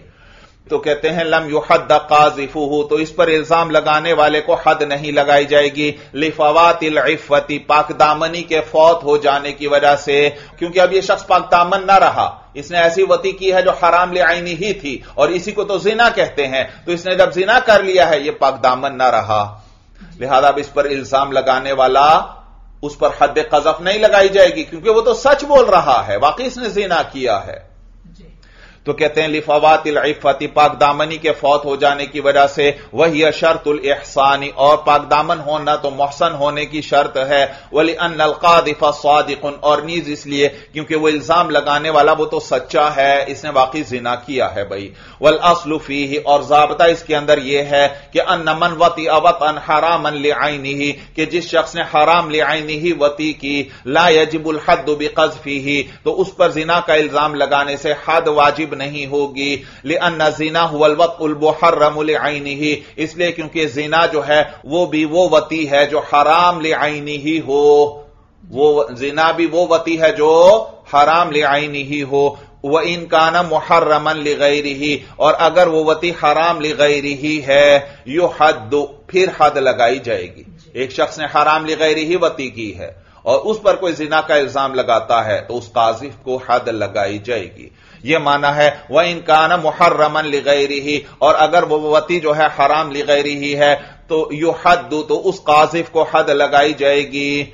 ले सभी जिना क्योंकि ये जिना नहीं है फलवत उफी गैर मिल की मिन कुल्ली वजहिन और मिन वजहिन हराम आईनी ही मैंने आपको बतलाया एक शख्स गैर की बांदी से सोहबत करता है तो यह भी गैर मिल्क में वती कर रहा है और अगर अपनी बांदी है लेकिन उसमें एक दो आदमी और भी शरीक हैं तो यह भी वती किसमें है गैर मिल्क में है अगरचे पूरे तौर पर गैर मिल्क नहीं है लेकिन कुछ तो गैर मिल्क है भाई तो यह भी हराम ले आईनी ही है तो कहते हैं, फलवत उफी गैर मिल की और वो वती जो गैर मिल्कियत के अंदर हो, मिन कुल्ली वजहिन और मिन वजहिन, चाहे पूरे तौर पर हो या बाज एतबार से हो, गैर मिल्क में वती, चाहे वो पूरे तौर पर गैर मिल्क में हो, चाहे बाज एतबार से गैर मिल्क के अंदर हो तो ये जो वती है हराम उन लिआनी ही, ये हराम लिआनी ही है। फिर तर्जमा देख लीजिए, कहते हैं फलवत उफी गैर मिल्क मिन कुल्ली वछिन और वछिन हराम उन लिआनी ही। बस वो वती जो गैर मिल्क में हो, पूरे तौर पर या बाज एतबार से वो हराम लिआनी ही है। वह कदल वक्त उफिल मिल्क वल हुरमत मुअब्बदतुन। और इसी तरह वो वती जो मिल्कियत में हो, लेकिन इस हाल में कि वो हुरमत मुअब्बद हो तो भी यह हराम ले आईनी ही है फ़ैन कानत हुरमत मुक्तन और अगर वह हुरमत मुक्त है यानी कुछ वक्त के लिए है फल हुरमत लगैरी ही तो यह हुरमत लगैरी ही है वह अबू हनीफत रहमल्ला तशतरित यकून हुरमतुलमुअबदत साबिततम बिल इजमाई और बिल हदीस मशहूरी लितकून साबिततम मिन गैरी तरद्दुदीन इमाम आज़म अबू हनीफा रहमल्ला एक और शर्त भी लगाते हैं। वो फरमाते हैं कि वो जो हुरमत मुअब्बदा है वो इजमा से हुरमत मुअब्बदा साबित हो या या हदीस मशहूर से। एक वती है वहाँ हुरमत मुअब्बदा पाई जा रही है लेकिन यह हुरमत मुअब्बदा इजमा से साबित हो या हदीस मशहूर से साबित हो। तवज्जो है लिहाजा अगर हुरमत मुसाहरत की वजह से हुरमत आई है तो फिर उसमें तो हमारा और शवाफिया का इख्तिलाफ है। हमारी वजह से हुरमत मुसाहरत, यानी किसी मर्द ने किसी औरत से जिना किया तो उस औरत के असूल और फुरो उस आदमी पर हराम हो जाते हैं। जबकि इमाम शाफी रहमला फरमाते हैं, नहीं मुसाहरत जो है, ससुराली रिश्ता एक नियामत है, वो हराम वती की वजह से यह नियामत हासिल नहीं हो सकती। तो देखो, हुरमत मुसाहरत के अंदर भी हुरमत आती है उस मजनिया के असूल और फुरू खावन पर हमेशा के लिए हराम हो गए हमारे नज़दीक। लेकिन यह हुरमत मुअब्बदा, इजमा से यह हदीस मशहूर से साबित नहीं है। तो इसको निकालने के लिए इमाम साहब फरमाते हैं कि हुरमत मुअब्बदा जो है, वो इजमा से साबित हो या हदीस मशहूर से साबित हो तो फिर वो वती जो है, वो हराम ले आईनी ही होगी। तो कहते हैं, वह अबू हनीफत रहमल्ला यशतरितु। और इमाम आज़म अबू हनीफा रहमल्ला शर्त लगाते हैं, अन यकून अलहरमतुल मुअब्बदतु साबिततम बिल इजमाई और बिल हदीस मशहूरी। कि वह हरमत मुअब्बदा इजमा या हदीस मशहूर से साबित हो। लितकून साबिततम मिन गैर तरद्दुदीन। ताकि वह हरमत बगैर किसी शक और शुबे के साबित हो, ताकि उसमें किसी किस्म का शक और शुबा न हो गई इसलिए क्योंकि हद का मामला है, हद कजफ का, और हद के मामले में शुबे से भी बचना ज़रूरी है भाई। आगे देखिए बयान अब बयान है इसका भाई। वही जो मतन में आया था, जिसने गैर मिल्क में वती की तो ये वती हराम ले आईनी ही है। और इस पर कोई जिना का इल्ज़ाम लगाए तो इसको हद नहीं लगाई जाएगी। अब मुख्तलिफ़ सूरतें ज़िक्र करेंगे। किसी में वती हराम ले आईनी ही होगी, और किसी में हराम ले गैरी ही होगी। तो कहते हैं बयान हो बयान इसका यह है। कहते हैं अन नमन ज़फ़र जुलम वती अजारियतम मुश्तर कतम बैन व बैन आखारा। नमन कजफर जुलन एक शख्स ने तोहमत लगाई एक ऐसे आदमी पर वती अजारियतम मुश्तर कतम बैन व बैन आखरा। जिसने वती की थी ऐसी बांदी से जो उसके और एक और आदमी के दरमियान मुश्तरक थी। एक मुश्तरका बांदी से एक आदमी ने सोहबत की है और दूसरे ने इस पर जिना का इल्ज़ाम लगाया है। तो यह कौन सी वती हुई? ये वती हुई किसमें? गैर मिल्क में। और गैर मिल्क, चाहे अगरचे कुछ तो गैर मिल्क है तो ये वती हराम ले, आईन ही है, लिहाजा इस पर कोई इल्ज़ाम लगाए इस आदमी पर तो उस पर हद कजफ नहीं आएगी, क्योंकि इसने वाकई जिना किया है भाई। तो कहते हैं, अन्ना मन कजफरा जुलन वत या जारियतम मुश्तर कतम बैन हुआ बैन आखरा। और जिस शख्स ने जिना का इल्ज़ाम लगाया, एक ऐसे आदमी पर जिसने अपने और दूसरे आदमी के दरमियान एक मुश्तरका बांदी के सतवती की थी। फला हद ही तो इसे इल्ज़ाम लगाने वाले पर हद नहीं है। ले नईदा मिल मिल की मिन वजहिन, इसलिए क्योंकि इस आदमी की मिल्कियत नहीं थी, मिन वजहिन बाज एतबार से। तो यह गैर मिल्क में वती हुई बई। वह कदा इलाका जफम रतन जनत फ़ी नसरानियतिहा। सूरत मसला ये, एक औरत ईसाई थी, वो मुसलमान हो गई। लेकिन जमाना ईसाइत के अंदर इसने एक आदमी से जिना किया था और वो जिना साबित भी हो गया था और उसकी वजह से इस औरत को हद भी लगाई गई थी। तो अब ये मुसलमान हो गई है। मुसलमान होने के बाद एक आदमी ने इसको जानिया कहा। तो क्या इस आदमी को हद लगाएँगे? कहते हैं, नहीं, इस आदमी को हद नहीं लगाएँगे, इसलिए क्योंकि शरान इस औरत की तरफ़ से जिना हो चुका है। इसी वजह से तो इसको हद भी लगाई गई थी। तो कहते हैं वकदा इदाकद कदफम रतन और इसी तरह जब किसी शख्स ने जीना का इल्ज़ाम लगाया, ऐसी औरत पर जनत फ़ी नसरानी यतिहा जिसने जीना किया था अपने ईसाई होने की हालत में, अपने ईसाई होने की हालत में इसने जिना किया था, यानी कुफर की हालत में। इसका भी यही हुक्म है, यानी इल्ज़ाम लगाने वाले पर हद नहीं आएगी। लितहक जिना मिनहा शरअन इसलिए क्योंकि शरअन इस औरत की तरफ़ से जिना पाया गया है। लिनदा मिल मिल की मिल्कियत मादूम होने की वजह से, क्योंकि वह आदमी जिसने इसके साथ जिना किया था, उसकी इसके अंदर कोई मिल्कियत नहीं थी। न मिलके यमीन थी और न मिलके निकाह थी। और इसीलिए तो इस पर हद भी वाजिब हुई थी। अगर मिल्कियत होती तो फिर तो हद साबित नहीं हो सकती थी। तो कहते हैं लिताहक जिना मिनहा शरान इस वजह से कि इस औरत की तरफ़ से जिना पाया गया है शरान लेनदा मिल मिल की इस जानी की मिल्कियत मादूम होने की वजह से कि उसकी इस औरत में कोई मिल्कियत नहीं थी। वलिहाद आवा जबा हल हद और इसी वजह से तो इस औरत पर हद वाजिब हुई थी। वलौकद फराजुलन अता अमतहू। अब हराम गैर ही की कुछ मिसालें ज़िक्र करेंगे। एक शख्स अपनी मजूसिया बांदी से वती करता है, या अपनी बीवी से हालत हैज़ में वती करता है, या अपनी मुकातबा से वती करता है तो ये सब हराम गैर ही हैं। इसमें अगर कोई इल्ज़ाम लगाएगा तो फिर उस आदमी को हद लगाएँगे। तो कहते हैं वलौका दफर रजुलन अता अमतहू। और जिस शख्स ने तो जिना की तोहमत लगाई, एक ऐसे आदमी पर, अता अमतहू, जो अपनी बांदी के पास आया है, यानी उसे सोहबत की है, वही मजूसीयतुन। इस हाल में कि वो बांदी मजूसिया है, यानी सितारा परस्त है, मुशरिक है। और इमरातहू यह वो ऐसा आदमी है कि इसने अपनी बीवी से सोहबत की है, वह या हाइजुन, इस हाल में कि वह हाइजा है। और मुकातबतन लहू ये एक शख्स ने अपनी ऐसी बांदी से सोहबत की है जो उसकी मुकातबा है। फाल हिल हद तो उस पर हद वाजिब है। यानी वो जिसने जिना का इल्ज़ाम लगाया है इस आदमी पर, जिसने ये वाली हराम गैर ही वती की है। अपनी मुशरिका बांदी से वती की है या अपनी बीवी से हैज़ की हालत में वती की है या अपनी मुकातबा से वती की है तो यह वती हराम लि गई रही है। और इस आदमी पर कोई जिना की तोहमत लगाएगा तो उस काजिफ को हद लगाएँगे। तो यह माना है फाल हिल हद तो उस काजिफ पर, यानी उस जिना का इल्ज़ाम लगाने वाले पर हद वाजिब होगी। लिअनलहरमत माक़यामिल मिल की इसलिए क्योंकि यह हरमत है माक़यामिल मिल की, बावजूद मिल्कियत के पाए जाने के। ये वती हराम तो है, लेकिन मिल्कियत तो पाई जा रही है। यहाँ तो गैर मिल किसी एतबार से भी नहीं है। लिहाजा यह हराम ले आईनी ही नहीं है, बल्कि हराम ले गैर ही है। तो कहते हैं अनलहरमता माक़यामिल मिल की। इसलिए क्योंकि यह हरमत जो है मिल्कियत के वजूद के साथ है, वह यह इस हाल में कि यह हरमत मुक्त है, मुअब्बद नहीं है। फ़कानतिल हुरमतुल गैर ही तो यह हुरमत गैर ही है फलम यकुन जीनन तो यह जीना नहीं है वान अब यूसुफ रहमल्ला और इमाम यूसुफ रहमल्ला से एक रिवायत है कि नवत अल मुकातबती युस्कितुल एहसाना कि मुकातबा के साथ वती ये भी एहसान को साकित कर देती है कोई आका अगर अपने मुकातबा से वती कर लेगा तो ये आका मोहसन न रहा लिहाजा इस पर अगर कोई जिना का इल्ज़ाम लगाएगा तो उस पर हद कजफ नहीं लगाएँगे। पीछे मतन में तो आ गया। मतन में तो आया अपनी मुकातबा से वती करेगा यह हराम ली गैरी ही है। यह हराम ले आईनी ही नहीं बल्कि हराम ले गैरी ही है। लिहाजा इससे मोहसन होना साकित नहीं होगा।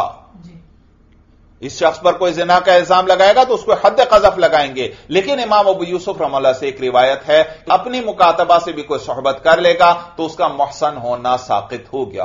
अब इस पर कोई जिना का इल्ज़ाम लगाए तो उसको हद कजफ नहीं लगाएँगे।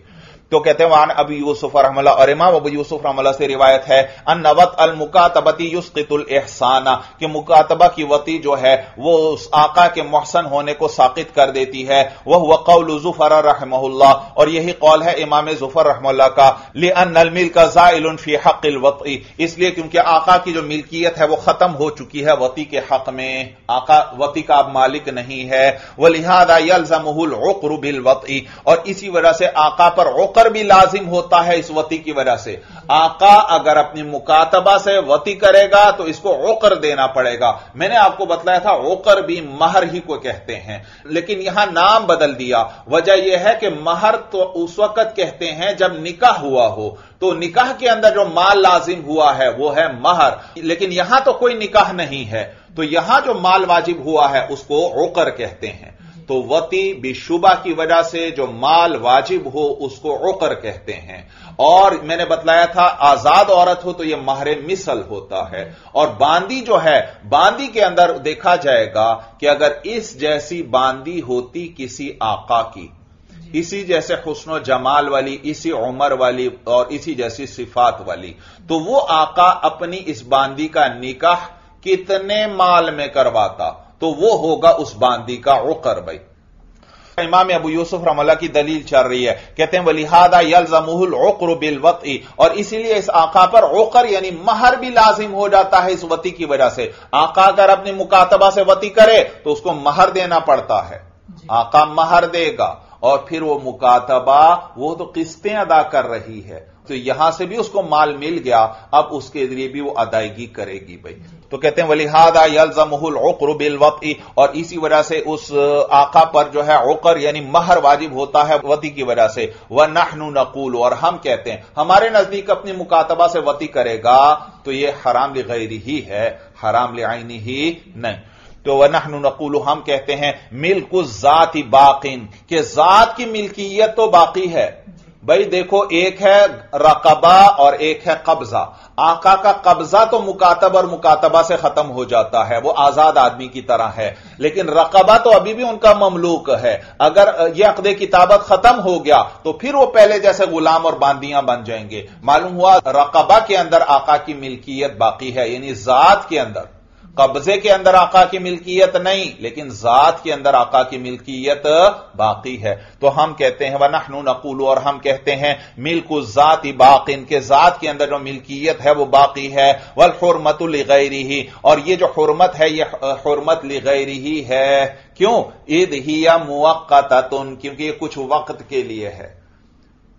कुछ वक्त के लिए है, हमेशा के लिए नहीं है। अगर ये मुकातबा आजिज आ गई पैसों की अदायगी से तो फिर इस सूरत में फिर ये आम बांदी बन जाएगी और आका के लिए सोहबत जायज़ हो जाएगी। मालूम हुरमत मुअब्बद नहीं है भाई। तो ये माना है, कहते हैं वलहुरमतुल गैर ही हुरमत जो है गैर की वजह से है। ईद हिया मुक्तन क्योंकि यह हुरमत मुक्ता है भाई। आगे देखिए वलौका दफारा जुलान वती अमतहू वही उख्तु मीन रजा युहद्दु। सूरत मसला ये। एक आदमी ने एक बांदी से वती कर ली, और ये जो बांदी है, इसकी ममलूका है, लेकिन इसकी रजाई बहन है। तो यह हुरमत कौन सी हुई? मुअब्बद। तो मिल्कियत बेशक मौजूद है, लेकिन हुरमत तो मुअब्बद है। मालूम हुआ यह वती हराम लिआनी ही है। लिहाजा इस आदमी पर अगर कोई जिना का इल्ज़ाम लगाए तो उस काजिफ को हद कजफ नहीं लगाई जा सकती। तो कहते हैं वलौका दफारा जुलान और अगर किसी शख्स ने इल्ज़ाम लगाया, ऐसे आदमी पर तवज्जो है, भाई जगह जगह यह जबता जारी हो रहा है, रजुलन नकेरा है, और वतिया उसके बाद फेल आ रहा है। और नकेरा के बाद फेल आए तो फिर वो मौसूफ सिफत बनते हैं, और मौसूफ सिफत का तर्जमा कैसे करते हैं? मौसूफ से पहले ऐसा या ऐसी का लफ्ज लाते हैं। तो कहते हैं, वला वलाउका दफ़ा जुलम वती अमतहू। और अगर किसी ने जीना का इल्ज़ाम लगाया ऐसे आदमी पर जिसने अपनी बांदी से वती की है, वह यह उख्तहू मीनर रजाती इस हाल में कि यह बांदी, उसकी रजाई बहन है, ला युहदू तो इस इल्ज़ाम लगाने वाले को हद नहीं लगाई जाएगी। लिअल हुरमत मुअब्बदतुन। इसलिए क्योंकि यह हुरमत मुअब्बद है, हमेशा के लिए है। वहादा हुआ सही और यही कौल सही है भाई। इमाम करखी रहमल्ला फरमाते हैं कि इस काजिफ को हद लगाई जाएगी। लेकिन साहिब हिदाया ने बतलाया वहादा हुआ सही यही कौल सही है कि इस आदमी का मोहसन होना खत्म हो चुका है। तो अब इसके काजिफ को हद नहीं लगाई जा सकती। आगे देखिए वलौका दफ़ा मुका तबम वमा तव तरका वफा अल्लाह हद याद रखो, मुकातब जो है वो अपनी किस्तें अदा करता है और जब पूरी अदायगी कर देता है तो आज़ाद हो जाता है। अब सूरत मसला ये, एक मुकातब अपनी किस्तें अदा कर रहा था, दरमियान में इसका किसी वक्त इंतकाल हो गया। और जब इसके माल को देखा गया तो जितने इसके जिम्मे माल बाकी था, उतन, उससे भी ज़्यादा माल इसने छोड़ा है। यानी इतना माल है जिससे आराम से अदायगी हो सकती है। आप इस किस्म के मुकातब में जो अपने पीछे इतना माल छोड़कर मरे कि जिससे अदायगी हो सकती है इस किस्म के मुकातब के बारे में सहाबा के दौर से इख्तलाफ है। बास फरमाते हैं कि यह आज़ाद है। ये आज़ाद। जब ये आज़ाद है मालूम हुआ जो किस्तें बनती थी वो दे देंगे आका को। और जो बाकी माल बचा है वो सारा इस गुलाम के वारिस ये अब आज़ाद हो चुका है इसके वारिसों को मिलेगा। बाकी माल इसके वारिसों को। और जबकि बास कहते थे नहीं ये गुलाम ही मरा है। बेशक इसके पास माल मौजूद था इतना जिसे अदायगी कर सकता था। लेकिन लेकिन अदा तो अभी तक नहीं किया था। जब अदा नहीं किया तो यह अभी भी गुलाम है। जब यह गुलाम है तो इसका सारा कुछ आका का है। तो वो सारा माल जो बाकी जायद माल है वो भी आका का हो जाएगा भाई। फ़र्क समझ में आ रहा है? तो ऐसा गुलाम जो मुकातब था और उसकी अदायगी से पहले उसका इंतकाल हो गया लेकिन इतना माल है जिसे वो अदायगी कर सकता था तो इसको आज़ाद शुमार किया जाएगा या गुलाम? सहाबा के दौर से ही इसमें इख्तिलाफ है। अब एक आदमी है उसने इस किस्म के मुकातब पर जीना का इल्ज़ाम लगाया। मुकातब मर चुका है और उसने माल छोड़ा है जिससे पूरी अदायगी हो सकती है। इस पर उसने जिना का इल्ज़ाम लगाया। तो क्या इस मुकातब के उसूल या फुरू जो हैं क्या वो इससे हद कजफ का मुतालबा कर सकते हैं? कहते हैं नहीं। वजह यह कि यहाँ इस मुकातब के अंदर इख्तिलाफ है और इख्तिलाफ की वजह से शक आ गया इसके आज़ाद होने में। भाई देखो ना अगर यह गुलाम मरा है तो यह गैर मोहसन है क्योंकि मोहसन के अंदर तो आज़ाद होना ज़रूरी था। ये गुलाम है। जब गुलाम है तो गैर मोहसन है और गैर मोहसन पर कोई जिना का इल्ज़ाम लगाए तो उस पर तो हद नहीं आती। और अगर यह आज़ाद हो चुका है तो फिर तो यह मोहसन है, फिर तो इस सूरत में उस इल्ज़ाम लगाने वाले पर हद कजफ आनी चाहिए। तो लिहाजा अब यह आज़ाद मरा है या गुलाम मरा है? इसमें इख्तलाफ है तो इसके अंदर शक आ गया। लिहाजा इस पर जिना का इल्ज़ाम लगाने वाले पर भी हद कजफ नहीं लगाई जा सकती, क्योंकि हदूद जो है वो शूबे की वजह से साकित हो जाती हैं। तो कहते हैं, वला दफ़ा मुकातबा व माता, और जिस शख्स ने मुकातब पर जिना का इल्ज़ाम लगाया, व माता इस हाल में कि वो मुकातब मर चुका है, व तारा का वफा अन और उस मुकातब ने इतना माल छोड़ा है जिससे अदायगी हो सकती है। वफा यफी का माना पूरी अदायगी करना। तो यहाँ वफा से मुराद है, वो पूरा माल यानी जिसके ज़रिए अदायगी हो सकती है। तो मुकातब जो है वो मर चुका है वह तारा का वफा अन, और उसने पूरी अदायगी का माल छोड़ा है। ला हद अलही तो इस इल्ज़ाम लगाने वाले पर हद नहीं। लितमक्कुनी शुभती फिल हुर्रियती, इसलिए क्योंकि शुभ आ गया है फिल हुर्रियती, इसकी आज़ादी में। तमक्कुन का माना करार पकड़ना। लितमक्कुनी शुभती, शुभे के करार पकड़ने की वजह से फिल हुर्रियती, इस मुकातब की आज़ादी में। लिमकान इख्तिलाफ सहाबती रज़ी अल्लाह तहुम लिमकान इख्तिलाफी अली वजूद इख्तिलाफी। मकान मस्तर है बमाने वजूद के। लिमकान इख्तिलाफी सहाबती रज़ी अल्लाह तहुम सहाब किराम रिजवान तम अजमाइन के इख्तिलाफ पाए जाने की वजह से तो शुबा आ गया और शुबे की वजह से हद साकित हो जाती है, लिहाजा इस मुकातब पर जिना का इल्ज़ाम लगाने वाले पर हद नहीं आएगी। आगे देखिए भाई वलौ कदफा मजूसी तजवज बी उम्मी ही सुम्मा असलम युहद अबी हनीफत रहमहुल्लाह, वकाला हद अलैह। भाई सूरत मसला ये, एक मजूसी है, उसने अपनी माँ के साथ निकाह किया है।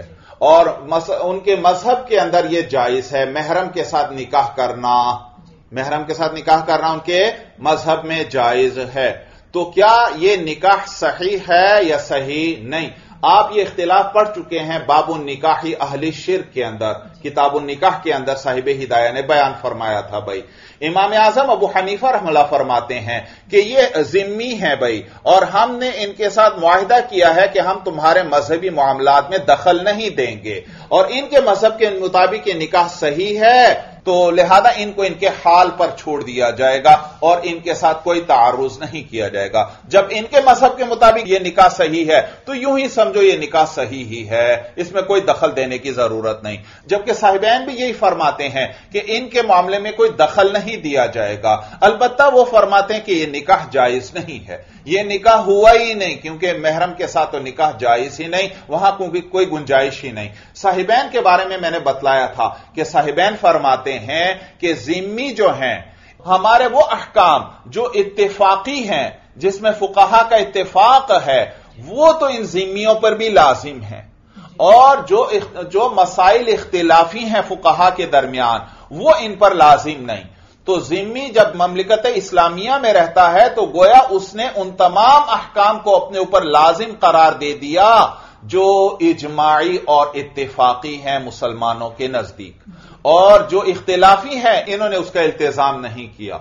और ये जो महरम से निकाह है, ये तो बिल इत्तेफाक, तमाम फुकाहा के नज़दीक हराम है। तो लिहाजा, यहाँ भी ये जिम्मी ने जो अपनी महरम के साथ निकाह किया है, ये निकाह सही ही नहीं है। ये निकाह हुआ ही नहीं। इमाम साहब तो फरमाते निकाह हो गया, क्योंकि इनके मज़हब के मुताबिक निकाह सही है। लेकिन साहिबैन फरमाते हैं निकाह हुआ ही नहीं है। हाँ, हम इनके मामले में दखल नहीं देंगे।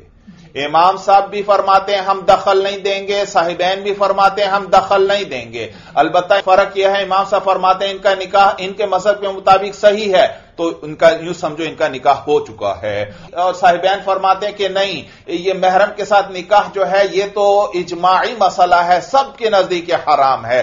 और इन्होंने हमारे इतफाकी मसाइल के मानने का इल्तजाम किया है, लिहाजा इनका यह निकाह हुआ ही नहीं। हाँ, वो अलग बात है, हम इनके मामला में दखल नहीं देंगे। ये जब मुसलमान होकर हमारे पास आएँगे, फिर हम इनमें जुदाई करवा देंगे। तो इमाम साहब भी फरमाते हैं और साहिबैन भी कि इनके मामला में दखल नहीं दिया जाएगा। हाँ, जब ये मुसलमान होकर आएँगे, फिर इनमें जुदाई करवा दी जाएगी। अलबत्ता इस वक्त, जबकि अभी ये काफिर हैं, इन्होंने निकाह किया है, क्या यह निकाह सही हुआ या नहीं? इमाम साहब फरमाते हैं, इनके मज़हब में हो चुका है, लिहाजा इनको इनके मज़हब पर छोड़ दो, गया यूँ समझो निकाह हो चुका है। साहिबैन फरमाते हैं, हम दखल तो नहीं दे रहे, लेकिन यह निकाह सही नहीं हुआ, भाई।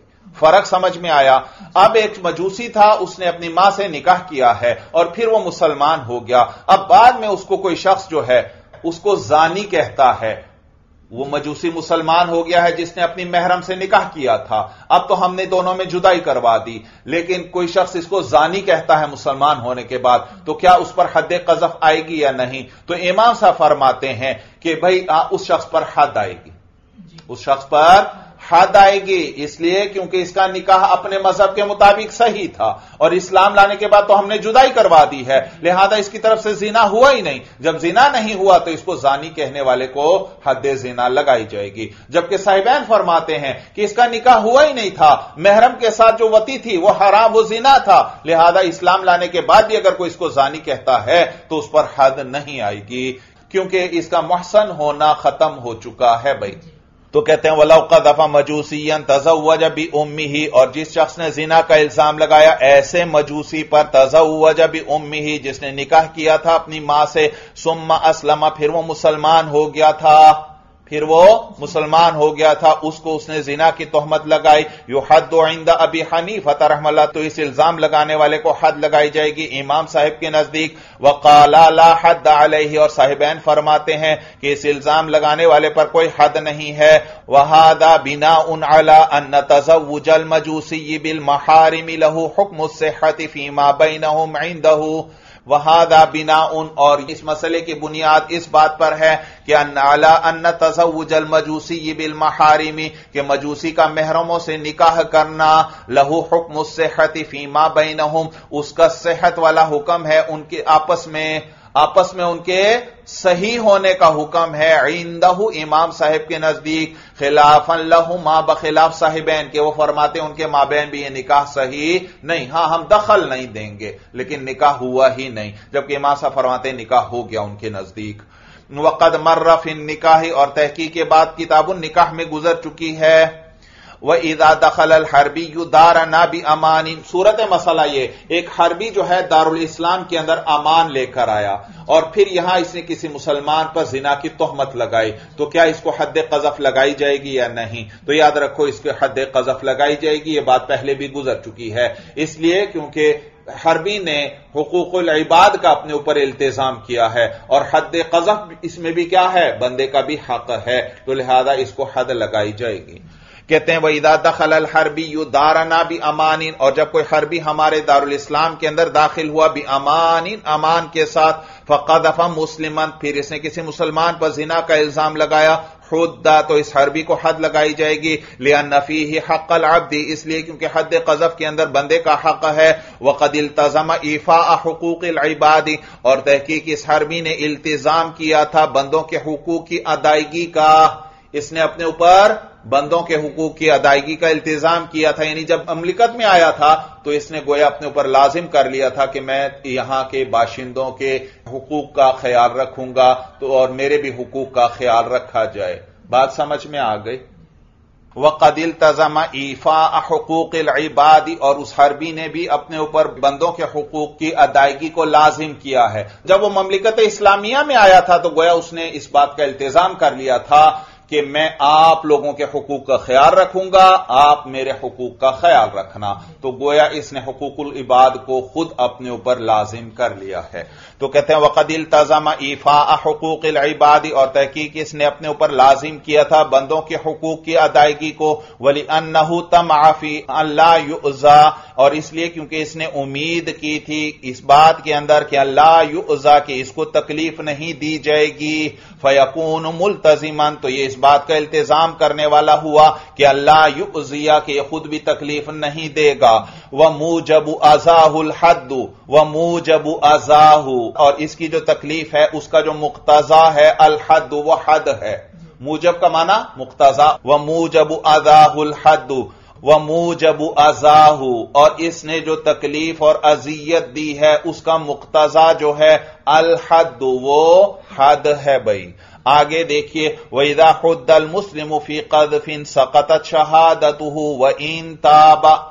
भाई, वही बात आ गई जो मैं पहले बयान कर चुका। कि हद कजफ जो है, इसके अंदर अस्सी कोड़े भी लगाए जाएँगे और तमाम ज़िंदगी इस आदमी की शहादत भी अब कबूल नहीं की जाएगी, क्योंकि कुरान में अल्लाह हद कजफ वाले के बारे में फरमाते हैं फजलिदू हम समानी न जल्दा, कि इनको अस्सी कोड़े लगाओ, वला तकबलू हम शहादतन अबदा, और इनकी गवाही कभी भी कबूल ना करो। मालूम हुआ, ये जो गवाही कबूल न करना है, ये ततिम्मा है हद कजफ का।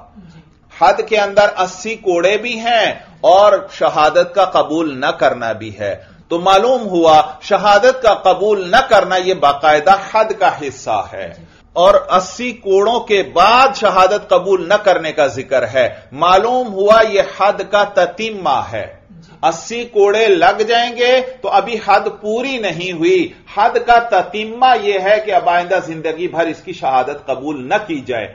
तो अब इस कासिफ की गवाही का कबूल न करना यह हद का ततिम्मा है। इससे हद पूरी हो रही है। तो कहते हैं वह ईदा खुदल मुस्लिम फ़ी कजफिन और जब किसी मुसलमान को हद लगाई गई जिना का इल्ज़ाम लगाने में सकत शहादत हु व इन ताबा तो इसकी गवाही साकित हो गई। अगरचे ये तौबा कर ले, तौबा कर ले, फिर भी इसकी गवाही कबूल नहीं की जाएगी, क्योंकि गवाही का कबूल न करना यह बाकायदा हद का हिस्सा है। तो यह माना है कि सकत शहादत हु व इन ताबा के, इसकी गवाही साकित हो जाएगी, अगरचे तोबा कर ले। वकाल शाफी रहमल्ला तला तुकबल इदा ताबा। और इमाम शाफी रहमल्ला फरमाते हैं कि इसकी गवाही कबूल की जाएगी इदा ताबा, जब यह तोबा कर ले वही तो रफूफी शहादाती। और इस मसले को जाना जाएगा किताब शहादात में। यानी किताब शहादात में वहाँ साहिब हिदाया तफसील बयान फरमाते हैं भाई। तो कहते हैं, वही तो अरफी शहादाती, और इस इख्तिलाफी मसले को किताब शहादात में जाना जाएगा। वहीदा खुद दल काफिर फ़ी कजफिन लम यजूज शहादत अला अहल जिम्मती। मैंने आपको बतलाया था कि किसी मुसलमान के खिलाफ काफिर की गवाही कबूल नहीं की जाएगी। हाँ, मुसलमान के हक में काफिर गवाही दे तो वह कबूल की जाएगी, क्योंकि उसमें मुसलमान का फ़ायदा है भाई।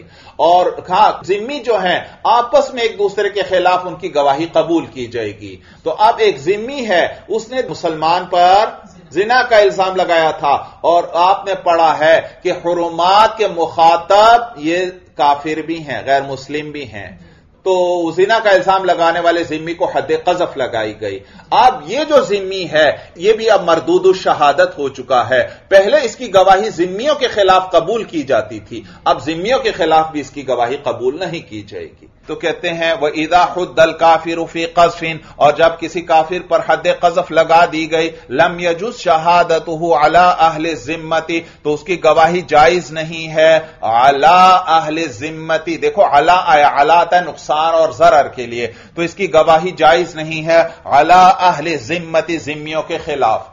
अब यानी उनके खिलाफ भी इसकी गवाही कबूल नहीं की जाएगी। ले अन्ना लहू शहादत आला जिन्स ही इसलिए क्योंकि इसकी शहादत थी, इसी की जिन्स के खिलाफ जिम्मी की गवाही जिम्मी के खिलाफ कबूल की जाती थी, लेकिन अब हद जारी हो गई है तो अब कबूल नहीं की जाएगी। यह माना है ले अन्न लहू शहादत अला जिन्स ही इसलिए क्योंकि इसको गवाही का हक था अपनी ही जिन्स के खिलाफ फतुरद ततिम मतन लिहद दी ही तो अब इसकी गवाही रद्द की जाएगी। ततिम मतन लिहद दी ही इसकी हद के लिए बतौर ततिम्मा के अब इसकी गवाही रद्द की जाएगी। बतौर ततिम्मा के इसकी हद के लिए कि इससे इसकी हद पूरी होगी भाई फ़ैन असलामा, अगर यह मुसलमान हो गया भाई यह जिम्मी था। इसको हद कजफ लगाई गई। अब इसकी गवाही जिम्मियों के खिलाफ भी नहीं कबूल की जाती। बाद में यह जिम्मी मुसलमान हो गया तो क्या अब इसकी गवाही कबूल करेंगे जिम्मियों और मुसलमानों के खिलाफ? कहते हैं, जब मुसलमान हो गया तो इस इस्लाम की वजह से इसको नई शहादत हासिल हो गई। अब यह मुसलमानों के खिलाफ भी गवाही दे सकता है और जिम्मियों के खिलाफ भी गवाही दे सकता है। क्योंकि इस्लाम की वजह से इसको नई शहादत हासिल हो गई। पहले तो यह मुसलमान के खिलाफ गवाही दे ही नहीं सकता था, और फिर जिम्मियों के खिलाफ भी गवाही नहीं दे सकता था हज जारी होने के बाद। लेकिन अब इसको नई शहादत हासिल हुई यह मुसलमान के खिलाफ गवाही दे सकता है। और इसी गवाही के ताबे इस जिम्मियों के खिलाफ गवाही का भी इसको हक मिल गया। अब दोबारा से इसकी गवाही कबूल की जाएगी। हाँ, अब अगर दोबारा इस पर हद जारी हुई हद कजब तो फिर दोबारा यह मरदूद शहादत बन जाएगा। कहते हैं इन असलमा, अगर वो जिम्मी जो है मुसलमान हो गया कुबिलत शहादत अलहिम व मुस्लिमीना। तो अब इसकी गवाही कबूल की जाएगी, जिम्मियों के खिलाफ भी और मुसलमानों के खिलाफ भी। लेहाद ही शहादत इस्तफा दहा बाद इस्लामी। इसलिए क्योंकि ये जो शहादत है, ये इस्लाम लाने के बाद इसने हासिल की है। फलम तदखुल तहतर रद्दी। तो ये उस रद्द के तह दाखिल नहीं। पहले जो इसकी शहादत रद्द की जाती थी, ये अब उसके तहत दाखिल नहीं, क्योंकि मुसलमान होने की वजह से इसने नई शहादत हासिल की है। बेखिलाफिल आबदी हाँ बखिलाफ गुलाम के। सूरत मसला ये एक गुलाम ने किसी आदमी पर जिना का इल्ज़ाम लगाया। और वह मोहसन था वह आदमी। तो इस गुलाम को हद कजफ लगा दी गई। बाद में इस गुलाम को आका ने आज़ाद कर दिया। तो क्या आज़ादी के बाद अब इसकी गवाही कबूल की जाएगी? कहते हैं नहीं। जब गुलाम था तो यह तो शहादत का अहल ही नहीं था। जब शहादत का अहल ही नहीं था तो लिहाजा मालूम हुआ इसको सिर्फ़ कोड़े लगे थे उस वक्त। गुलामी के दौरान इसको सिर्फ़ कोड़े लगे थे। और हद का जो ततीमा था यानी मरदूद शहादत होना वो तो अभी आया ही नहीं। ये तो हले शहादत था ही नहीं पहले भाई। सिर्फ़ इसको कोड़े लगे हैं और मरदूद शहादत होना यह तो साबित ही नहीं हुआ था। यानी हद अभी पूरी ही नहीं हुई थी। जब यह आज़ाद होगा तो अब वो ततीमा आ जाएगा, अब यह मरदूद शहादत हो जाएगा। पहले सिर्फ़ कोड़े लगे थे, अब मरदूद शहादत भी हो गया। तो लिहाजा गुलाम को जब हद लगा दी जाए और फिर बाद में वो आज़ाद हो जाए तो मरदूद शहादत ही रहेगा। कोई नई शहादत उसको हासिल नहीं हुई भाई। कहते हैं, बेखिलाफ इलाब्दी बेखिलाफ गुलाम के, इदा हद हद कजफी। जब उसको हद कजफ लगा दी गई, सुम्मा उतिका फिर उसको आज़ाद कर दिया गया है सुला तुकबलु शहादत क्योंकि इसकी गवाही कबूल नहीं की जाएगी। बतलाया ना कि जिम्मी मुसलमान हो जाए तो अब उसकी गवाही कबूल की जाएगी। बेखिलाफ इलाब्दी बखिलाफ गुलाम के के यहाँ इसकी गवाही कबूल नहीं की जाएगी, फिर तर्जमा देख लीजिए। बेखिलाफ इलाब्दी बखिलाफ गुलाम के इदा हद हद कजफी की, जब उसको हद कजफ लगा दी जाए सुम ओतिका फिर उसको आज़ाद कर दिया जाए। हैसुल्ला तुकबल शहादत क्योंकि इसकी गवाही कबूल नहीं की जाएगी। ला शहादत लहू असलन फ़ी हाल रिक्की, इसलिए क्योंकि गुलामी की हालत में तो इसकी सिरे से कोई गवाही ही नहीं थी। लिअन्नहु ला शहादत लहू असलन। इसलिए क्योंकि इसके लिए तो सिरे से कोई गवाही ही नहीं थी। फ़ी हाल रिक्की गुलामी की हालत में फकान रद्द शहादत ही बाद इतकी। तो आज़ादी के बाद इसकी शहादत का रद्द करना मिन तमाम हद्दी ही ये इसके हद के पूरा करने में से ही है। हद अभी पूरी हुई ही नहीं थी भाई। तो जब आज़ाद होगा, अब मरदूद शहादत भी हो गया, अब हद पूरी हो गई भाई।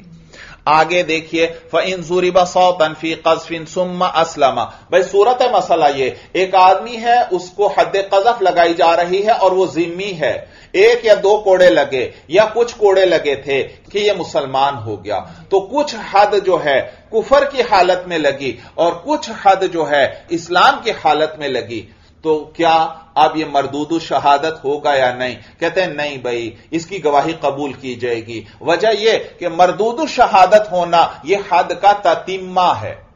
मरदूद शहादत होना हद का ततीमा है। इससे हद पूरी होती है। लिहाजा पूरी हद या तो कुफर में पाई जाए या इस्लाम में। फिर यह ततीमा भी साथ आकर जुड़ेगा। लेकिन पूरी हद तो ना इस्लाम में पाई गई ना कुफर में। कुफर के अंदर एक दो कोड़े लग गए थे फिर मुसलमान हो गया। तो ना कुफर में पूरे कोड़े लगे हैं और ना इस्लाम में पूरे कोड़े लगे हैं। तो लिहाजा जब पूरी हद होती तो उसका ततिमा भी साथ आ जाता। तो जब कोड़े लगाने वाली पूरी हद न कुफर में है, न इस्लाम में है तो इसका ततिमा भी नहीं आ सकता। कहते हैं इन जूरिबा सौतन फ़ी कजफिन और अगर काफिर को एक कोड़ा लगाया गया कजफ के अंदर सुम असलमा, फिर वो मुसलमान हो गया। सुम मसूरिबा मा बकिया, फिर इसको बाकी कोड़े लगाए गए। जाजत शहादत हो तो इसकी शहादत जायज़ है। यह मरदूद शहादत नहीं, क्योंकि मरदूद शहादत होना यह हद का ततिम्मा है। इससे हद पूरी होती है, लेकिन उसके लिए ज़रूरी है कि वो हद या पूरी की पूरी मौजूद तो हो। या कुफर में पूरी हो, या इस्लाम में, लेकिन यहाँ पूरी हद ना कुफर में है और ना इस्लाम में है। तो यह माना है, जाजत शहादत इसकी गवाही जायज़ है लिअन रद्द शहादती मुतमिन लिल हद्दी। इसलिए क्योंकि शहादत का रद्द करना ये हद को पूरा करने वाला है, फयकून सिफतन लहू तो ये रद्द शहादत जो है, ये हद की सिफत होगी। यानी हद की सिफत है, उसका ततीमा है, उसको पूरा करने वाली है। वल मुकाम उबादल इस्लामी बाजुल हद्दी। वल मुकाम, और वो जिसको कायम किया गया। और वो हद जिसको कायम किया गया बाद अल इस्लामी इस्लाम के बाद, बाजुल हद्दी। वो तो बाज हद है। फलायकून रद्द शहादत सिफतन लहू। तो लिहाजा रद्द शहादत उसकी सिफत नहीं हो सकती। रद्द शहादत पूरी हद की सिफत बनती है। बाज हद की सिफत नहीं बनती। यह माना है फलायकून रद्द शहादत सिफतन लहू। तो यह रद्द शहादत जो है, उस बाज हद की सिफत नहीं हो सकती। वान अबी यूसुफ रहमल्ला और इमाम अबू यूसुफ रमल्ला से एक रिवायत यह है क्या नहू तुरद्दु शहादत कि इसकी शहादत भी रद्द की जाएगी। ये शख्स भी मरदूद शहादत हो जाएगा। कहते हैं, इजिल अकल्लु ताबिल अक्सरी। इसलिए क्योंकि कलील जो होता है, वो अक्सर के ताब्या होता है। थोड़ी चीज़ ज़्यादा के ताब्या हो जाती है। और ज़्यादा कोड़े तो इस्लाम में लगे हैं।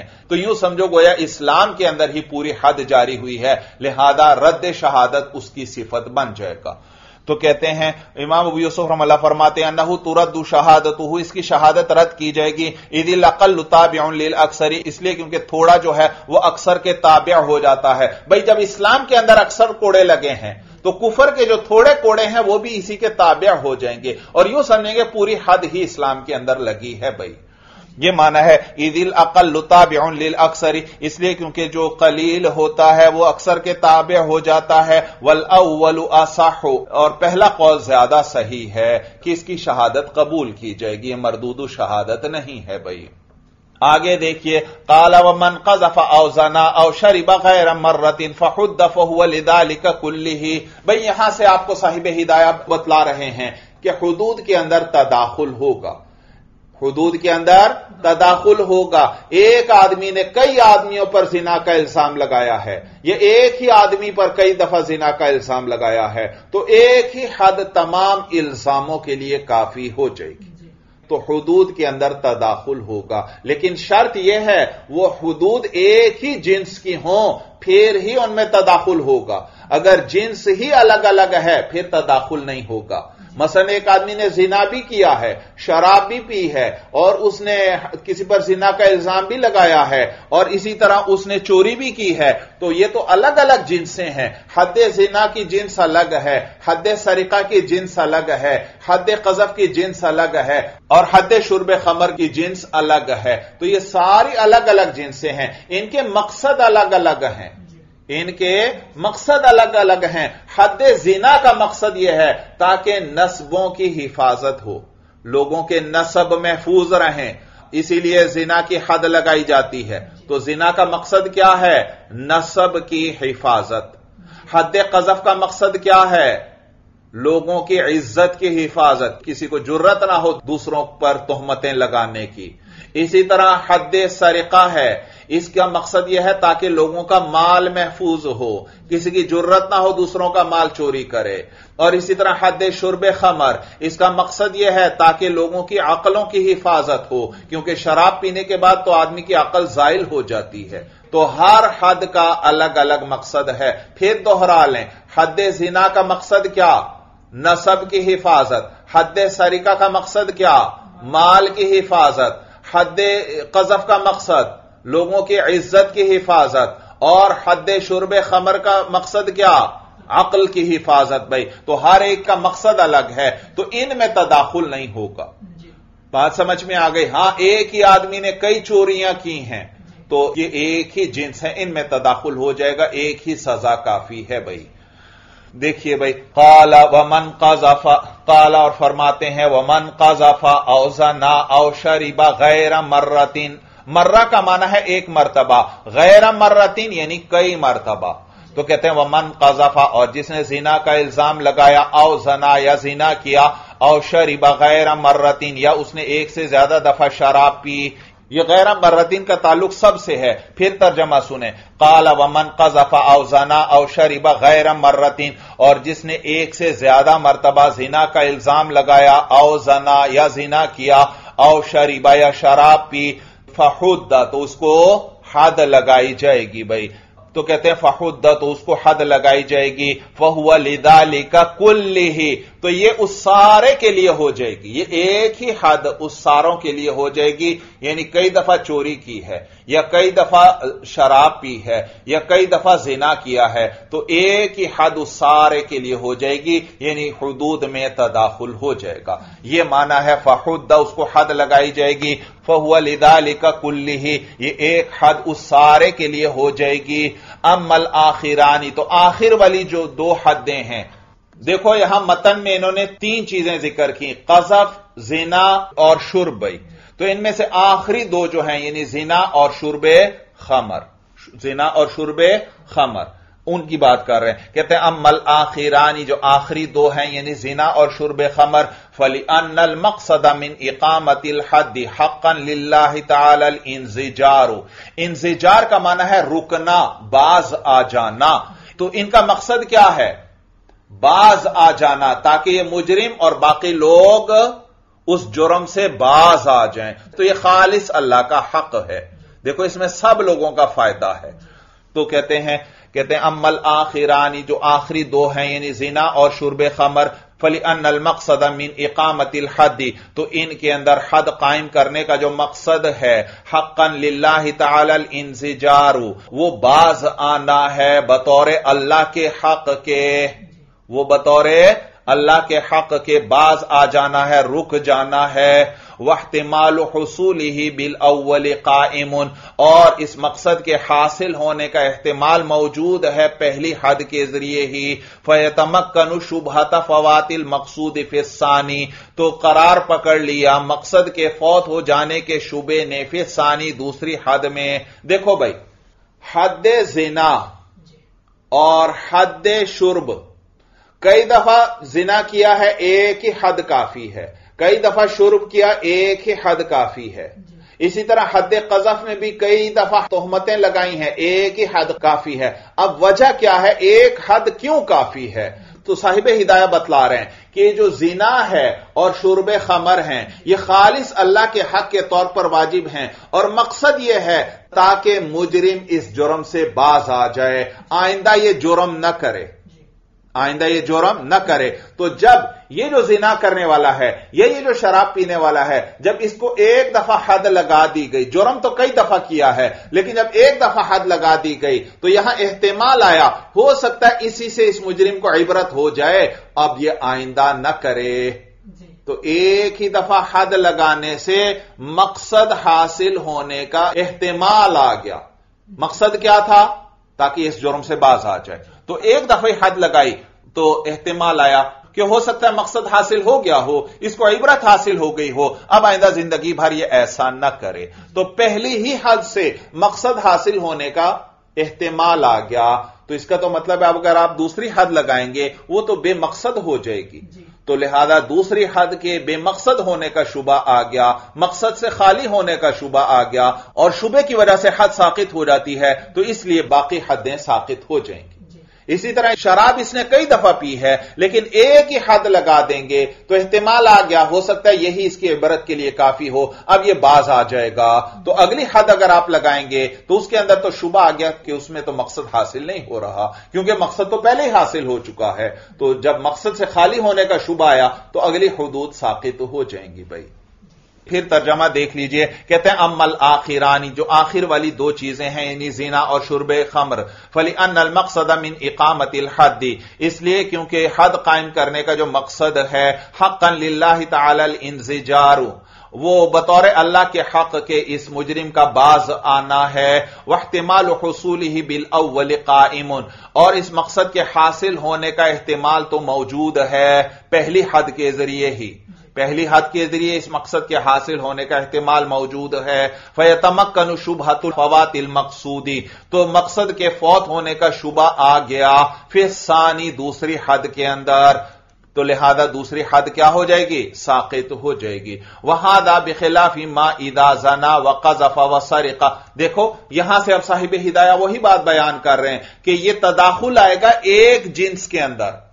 जब सारी हदें क्या हों? एक ही जिन्स की हो तो फिर उनमें तदाखुल होगा। लेकिन अगर जींसें अलग अलग हैं, फिर तदाखुल नहीं। जैसे चोरी की भी की है और जिना भी किया है। तो चोरी की हद का मकसद क्या है? लोगों के माल महफूज हो जाए। और जिना की हद का मकसद क्या है? नसब महफूज हो जाए। तो दोनों का मकसद अलग अलग है तो फिर इनमें तदाखुल नहीं होगा। तो कहते हैं, वहादा बेखिलाफ इमा इदाजाना वक़ज़फ़ा वसा रका व शरीबा। और बखिलाफ इसके कि जब उस शख्स ने जिना भी किया और जिना का इल्ज़ाम भी लगाया और चोरी भी की और शराब भी पी तो इस सूरत में तदाखुल नहीं होगा। लिअन अल मकसूद अमीन कुल्ली जिनसिन। इसलिए क्योंकि हर जिन्स से जो चीज़ मकसूद है गैर उल मकसूद मिनल आखरी, वो दूसरी जिन्स से मकसूद नहीं है। इसलिए क्योंकि हर जिन्स से जो मकसूद है, वो दूसरी जिन्स से मकसूद नहीं नहीं है तो हर एक का मकसद अलहदा है। तो कहते हैं अन अल मकसूद अमीन कुल्ली जिनसिन। कहते हैं, इसलिए क्योंकि हर जिन्स से जो मकसूद है गैर मकसूद मिनल आखरी, वो दूसरी जिन्स से मकसूद नहीं है। फला या तदाखलु तो इनमें तदाखुल नहीं होगा। वह अम मलकसफल मुगल्लबुफी ही दना हक़ुल्ला तला। और बाकी हद कजफ जो है, फल मुगल्लबुफी ही आइंदाना तो वो चीज़ जिसको गालिब करार दिया गया है, इसके अंदर हमारे नज़दीक हक़ुल्लाह वो अल्लाह का हक है, फयकून मुलहकम बिहिमा तो ये भी उन दोनों के साथ मुलहक होगी। हद कजफ का हुक्म भी वही हद जिना और हद शुरब खमर वाला है, और उनमें तो तदाखुल होता है। तो लिहाजा हद कजब जिसके अंदर हकुल्ला गालिब है, उसके अंदर भी तदाखुल होगा भाई। वकाल शाफी रहमल्ला और इमाम शाफी रहमल्ला फरमाते हैं इन इख्तलफल मकजूफ अविल मकजूफ बिही वह जिना ला तदाखलू इमाम शाफी रहमल्ला फरमाते हैं हद कजफ के अंदर तदाखुल तब होगा जब एक मकजूफ भी एक हो और मकजूफ बिही भी एक हो। मकजूफ वो आदमी जिस पर जिना का इल्ज़ाम लगाया गया है। मसलन एक आदमी ने जैद पर जिना का इल्ज़ाम लगाया तो जैद हुआ मकजूफ। इस पर जिना का इल्ज़ाम लगा है। और जिस चीज़ का इल्ज़ाम लगाया, वो है मकजूफ भी ही। तो जैद पर किस चीज़ का इल्ज़ाम लगाया? जिना का। तो जिना हुआ मकजूफ भी ही। तो इमाम शाफिर हमला फरमाते हैं, अगर मकजूफ और मकजूफ भी ही मुतहिद हों तो फिर हद कजफ में तदाखुल होगा। एक ही जिना का इल्ज़ाम। एक आदमी पर कई दफ़ा लगाया। मसा जैद पर इल्ज़ाम लगाया कि तुमने फुलानी औरत से जिना किया है। और फिर दूसरे दिन फिर इल्ज़ाम लगाया, उसी औरत के साथ जिना के कि तुमने फुलानी औरत से जिना किया है। तो देखो, यहाँ मकजूफ जैद है दोनों जगह। और एक ही जिना की वो बात कर रहा है, कोई अलग अलग जिना की बात नहीं कर रहा। लेकिन अगर मकजूफ अलग अलग हो मसलन, एक जिना का इल्ज़ाम लगाया है जैद पर, एक जिना का इल्ज़ाम लगाया है अमर पर, और एक जिना का इल्ज़ाम लगाया है बकर पर तो यहाँ मकजूफ अलग अलग हैं, लिहाजा यहाँ तदाखुल नहीं होगा। ये कौन फरमाते हैं? इमाम शाफी रहमहुल्ला या इसी तरह, मकजूफ तो एक है, लेकिन मकजूफ भी ही अलग अलग हैं, फिर भी तदाखुल नहीं होगा। मसलन, जैद पर एक इल्ज़ाम लगाया कि तुमने फुलानी औरत से जिना किया है। फिर दूसरी औरत का इल्ज़ाम लगाया कि तुमने फुलानी औरत से भी जिना किया है। फिर तीसरी औरत का इल्ज़ाम लगाया कि तुमने फुलानी औरत से जिना किया है। तो यहाँ देखो मकजूफ भी ही अलग अलग है, यानी अलग अलग जिना का इल्ज़ाम लगा रहा है तो इनमें भी तदाखुल नहीं होगा। हर इल्ज़ाम के लिए अलग अलग हद लगाई जाएगी। ये इमाम शाफी रहमुल्ला फरमाते हैं, जबकि हमारे नज़दीक तदाखुल हो जाएगा। एक है हद इन सबसे काफ़ी है भाई।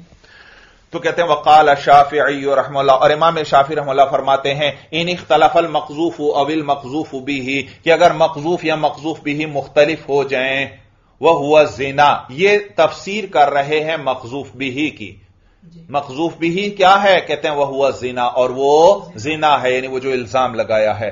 तो इमाम शाफी रमला फरमाते हैं, इन इख्तलाफल मकजूफ अगर मकजूफ मुख्तलिफ़ हो जाए, यानी वो शख्स जिस पर जिना का इल्ज़ाम लगाया गया है, अविल मकजूफ भी या मकजूफ भी मुख्तलिफ़ हो जाए, वह हुआ जिना और वह जिना है। अगर वह मुख्तलिफ़ हो जाए, ला या तदाखलु फिर हद कजफ के अंदर तदाखुल नहीं होगा। लिअनमगलबफी हकुल अब्द इंदहू, इसलिए क्योंकि इस हद कजफ के अंदर बंदे के हक को गालिब करार दिया गया है, इंदहू उनके नज़दीक। इमाम शाफी रहमल्ला के नज़दीक इसमें हद कजफ में बंदे का हक गालिब है भाई। आगे देखिए भाई फ़सल फिर ताजीर। यह फ़सल है ताजीर के बारे में भाई। ताजीर भाई, आजारा या याजीरू से है। और आजारा या याजीरू के माने भी है रोकना और सजा देना। तो ताजीर को भी ताजीर इसलिए कहते हैं क्योंकि यह भी मुजरिम को और लोगों को जुर्म से रोकती है भाई।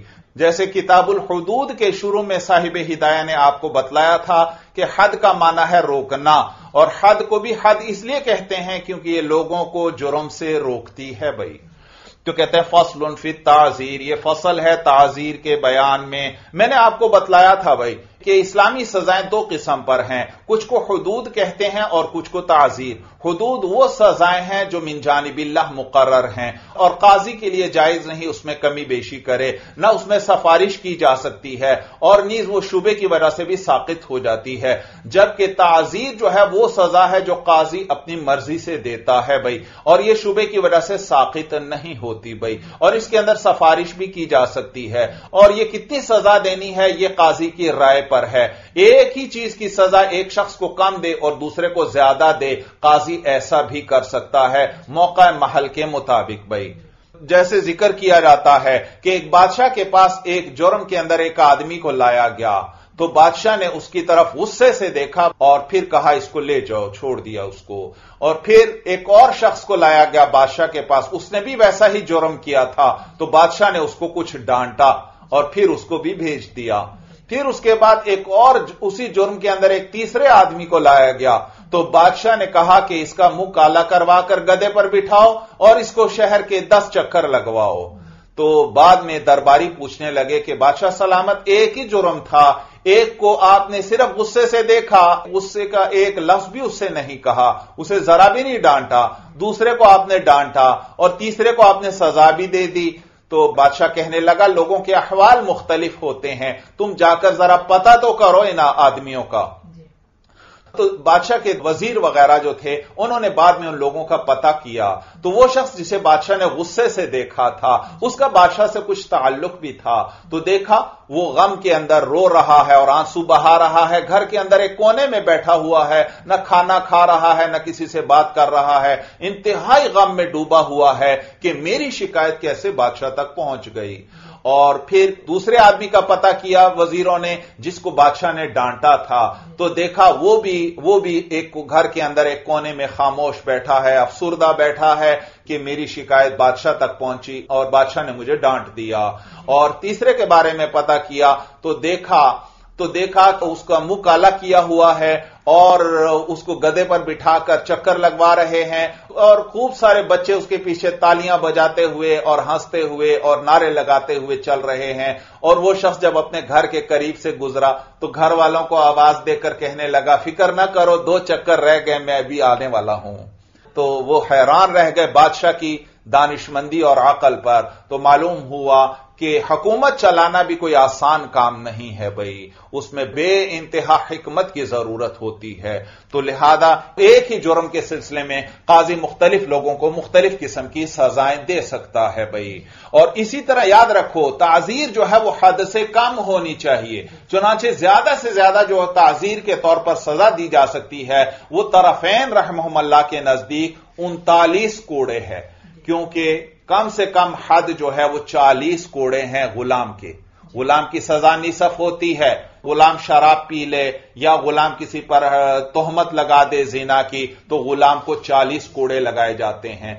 और ताजीर जो है वो हद से कम होनी चाहिए। तो तरफेन फरमाते हैं कि ताजीर ज़्यादा से ज़्यादा उनतालीस कोड़ों तक हो सकती है। जबकि आगे आपको बतलाएँगे इमाम अबू यूसुफ रहमला फरमाते हैं कि ताजीर जो है ज़्यादा से ज़्यादा पचहत्तर कोड़ों तक हो सकती है। उन्होंने आज़ाद की हद का एतबार किया है और आज़ाद की हद तो अस्सी कोड़े है तो उससे कुछ कम कर दिए तो फरमाते हैं पचहत्तर कोड़े हैं। जबकि एक रिवायत उनकी यह भी है कि अस्सी से एक कोड़ा कम कर दिया जाए यानी उनासी कोड़े ये, ये भी काजी हद के तौर पर दे सकता है। लेकिन बहरहाल याद रखो ताजीर के सिलसिले में सारा दारोमदार काजी की राय पर है भाई। काजी जितनी ताजीर किसी को देना चाहे दे सकता है अलबत्ता वो हद से कम होनी चाहिए। लेकिन अगर बाज औकात मामूली सजाओं से लोगों की इसलाह नहीं हो रही तो फिर काजी याद रखो दो चार आदमियों को कत्ल भी करवा सकता है। मसलन एक इलाके के अंदर लोग बहुत ज़्यादा मिलावट करते हैं उनको मामूली सजा से असर ही नहीं पड़ता। तीस पैंतीस कोड़े लग जाएँ तो इससे उनको असर ही नहीं होता। तो काजी के लिए जायज़ है कि बतौर ताजीर के तीन चार को कत्ल करवा दे, उनको लटका दे। जैसे मसलन देखो, लाहौर वाले हैं, अब मिलावट से बाज नहीं आ रहे। तो काजी के लिए जायज़ है, दो तीन को कत्ल करवा दे, एक को लाहौर के एक कोने में लटका दे, दूसरे को दूसरे में, तीसरे को तीसरे कोने में। आप देखेंगे, एक दिन में सारे लोग मिलावट से बाज आ जाएँगे। तो उलमा फुकाहा फरमाते हैं कि बाज औकात ज़रूरत की वजह से काजी सजाए मौत भी दे सकता है, लोगों की इसलाह की नीयत से भाई। तो अब यह ताजीर का बयान आ गया। कहते हैं फ़सल फिर ताजीर यह फ़सल है ताजीर के बयान में वह मन का दफ़ा आबदन जी, अब सूरत ये, भाई, पीछे आपको इन्होंने बतलाया था, अगर मोहसन पर कोई जिना का इल्ज़ाम लगाए तो उस पर तो हद कजफ आती है। अगर गैर मोहसन पर कोई जिना का इल्ज़ाम लगाए जैसे गुलाम है या काफिर है इन पर कोई जिना का इल्ज़ाम लगाए तो कहते हैं इस सूरत में ताजीर आएगी। इस सूरत में ताजीर आएगी और सख्त ताजीर इनको लगाई जाएगी क्योंकि गैर मोहसन होने की वजह से हद तो ना आई लेकिन बहरहाल ताजीर आएगी और ताजीर भी सख्त दर्जे की। यहाँ तक बात समझ में आ गई। देखिए भाई, कहते हैं वह मन कजफा आबदन और जिसने इल्ज़ाम लगाया गुलाम पर, औ अमतन या बांदी पर, औ उम वलदिन या किसी की उम्मे वलद बांदी पर, औ काफिरन या काफिर पर बेजिना जिना का। इनमें से किसी पर किसी ने जिना का इल्ज़ाम लगाया। अब ये तो गैर मोहसन है। तो कहते हैं ओ जीरा तो उसको ताजीर लगाई जाएगी। लिअन नहू जिना या तो कजफिन। इसलिए क्योंकि ये जिना का इल्ज़ाम लगाने का जुर्म है। वह कदीम तना वजूब हदी और हद का वजूब तो मुमतने हो गया। हद तो वाजिब नहीं हो सकती। लिफक दिल एहसानी मोहसन न होने की वजह से फकद का क्या माना? न होना। लिफक दिल एहसानी। मोहसन न होने की वजह से फवजबत ताजीर तो ताजीर वाजिब होगी। व कदा इदा कदफा मुस्लिमन भी गैर जीना। अब भाई दूसरी सूरत आ गई। मोहसन पर इल्ज़ाम लगाया। लेकिन जिना के अलावा किसी और चीज़ का। जिना का इल्ज़ाम मोहसन पर लगाया जाए, वहाँ तो हद कजफ आती है। लेकिन जिना के अलावा कोई और इल्ज़ाम लगाया है तो फिर वहाँ ताजीर आएगी।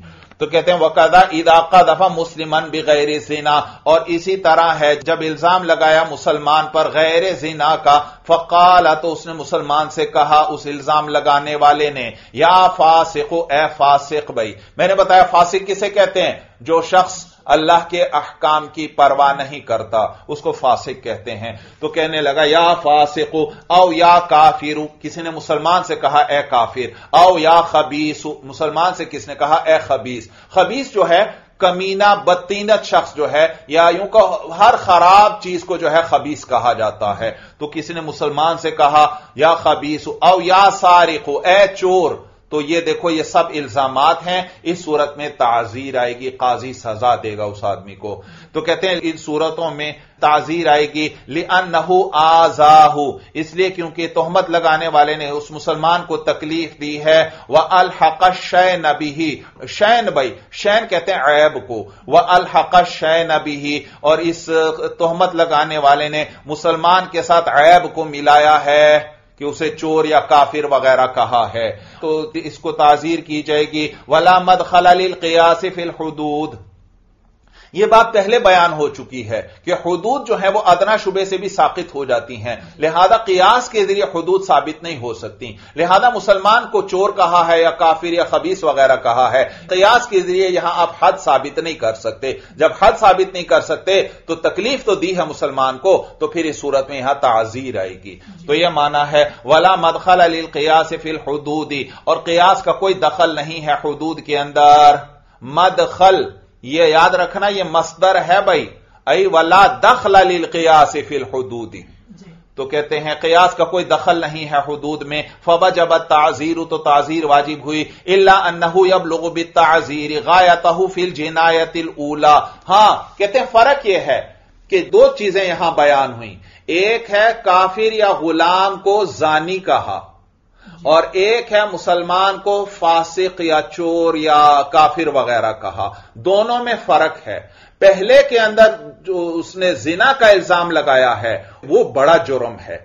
तो हद तो नहीं आई क्योंकि वो शख्स गैर मोहसन है गुलाम है या काफिर है लेकिन ताजीर सख्त दर्जे की आएगी।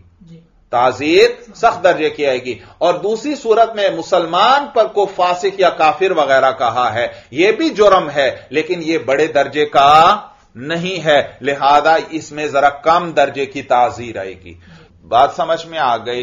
तो ये इबारत पर नज़र रखिए जरा, इल्ला अन्नहु यब लोगो ताजीरी बलगा यब लोगो इसके अंदर जमीर जो है वो काजी या इमाम की तरफ़ लौटा दें। इसलिए क्योंकि ताजीर का ज़िक्र चल रहा है और ताजीर जो है वो काजी और इमाम करता है। तो कहते हैं, इल्ला अन्नहु यब लोगो ताजीर गायतहु फिल जिनायतिल उला मगर यह कि काजी या इमाम ताजीर के ज़रिए, ताजीर की इंतहा को पहुंचेगा पहले जुर्म में, यानी खूब सख्त ताजीर करेगा।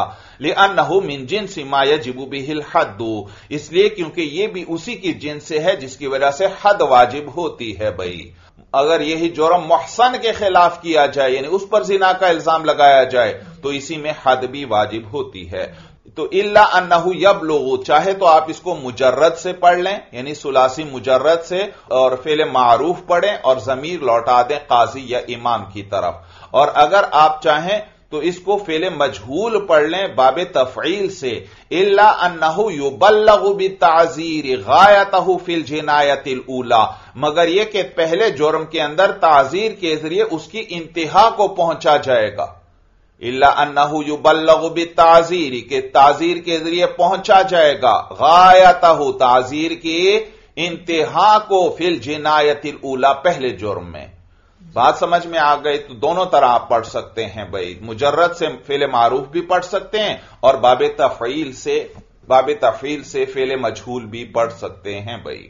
तो कहते हैं इल्ला अन्नहु यब लोगो ताजीर गायतहु फिल जिनायतिल उला मगर यह कि काजी जो है ताजीर के अंदर इंतहा को पहुंचेगा फिल जिनायतिल उला पहले जिनायत में।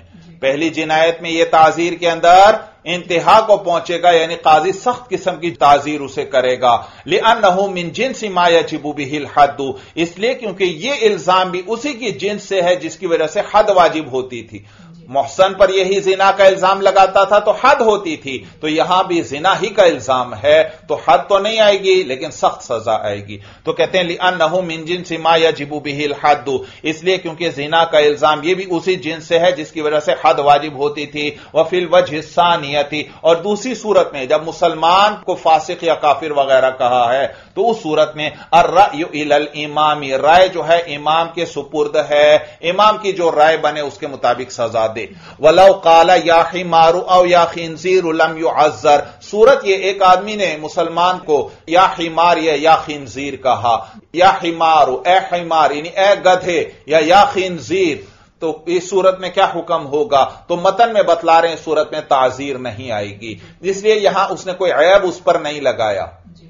पिछले मसले में तो था, मुसलमान को कहा है, या सारिक, ए चोर तो गोया चोरी का इल्ज़ाम लगा दिया उस पर। या या काफिर, गोया कुफर का इल्ज़ाम लगा दिया उस पर। या इसी तरह, या फासिक तो उस पर फिसक का इल्ज़ाम लगा दिया। लेकिन यहाँ जो इसने कहा है, या हिमारू, ए गधे ये तो कोई इल्ज़ाम नहीं है। सबको पता है ये आदमी गदा नहीं है। दूसरा वैसे इसको गदा कह रहा है। या या खिनजीर कहा तो इस सूरत में भी ताजीर नहीं होगी। क्योंकि इसमें कोई ऐब उसके साथ लाक नहीं किया भाई।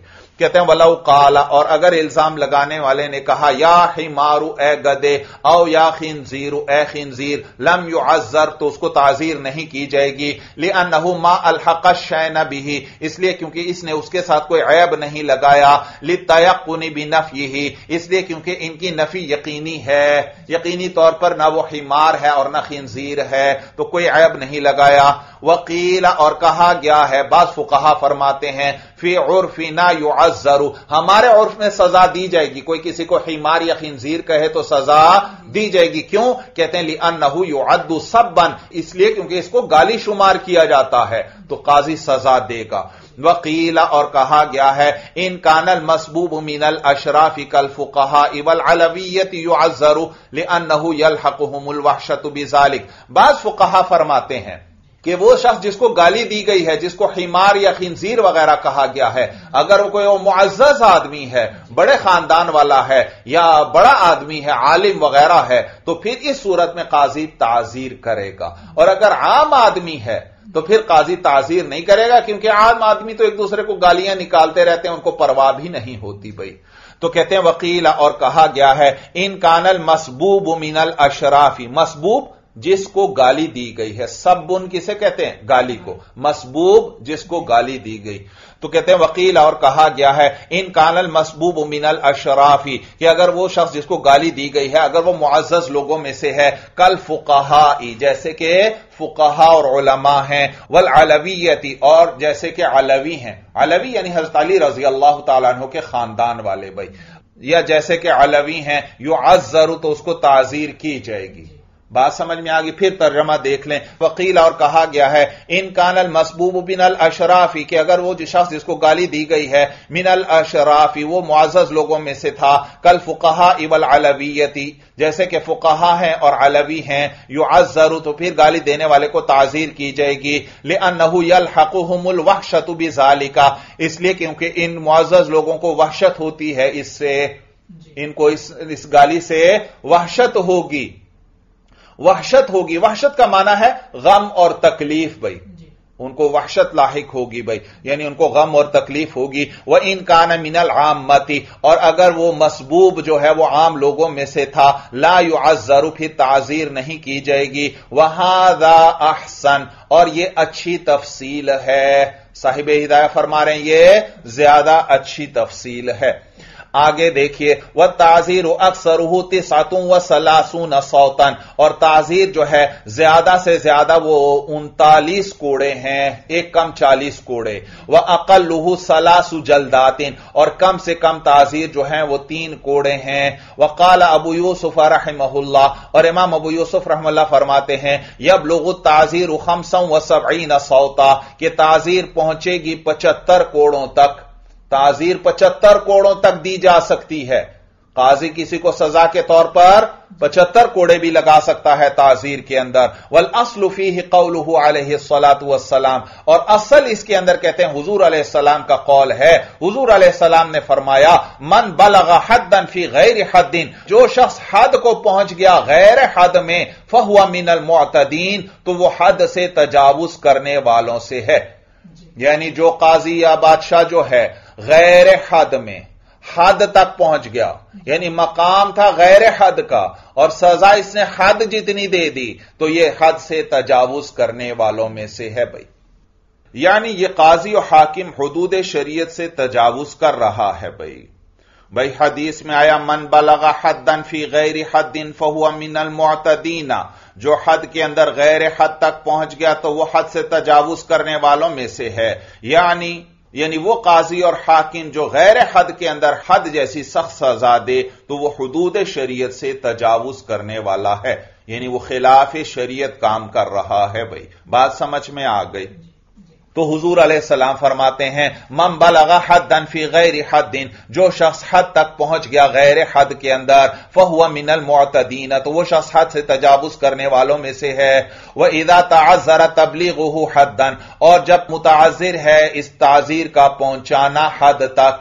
मालूम हुआ ताजीर को हद तक नहीं होना चाहिए उससे कम होना चाहिए।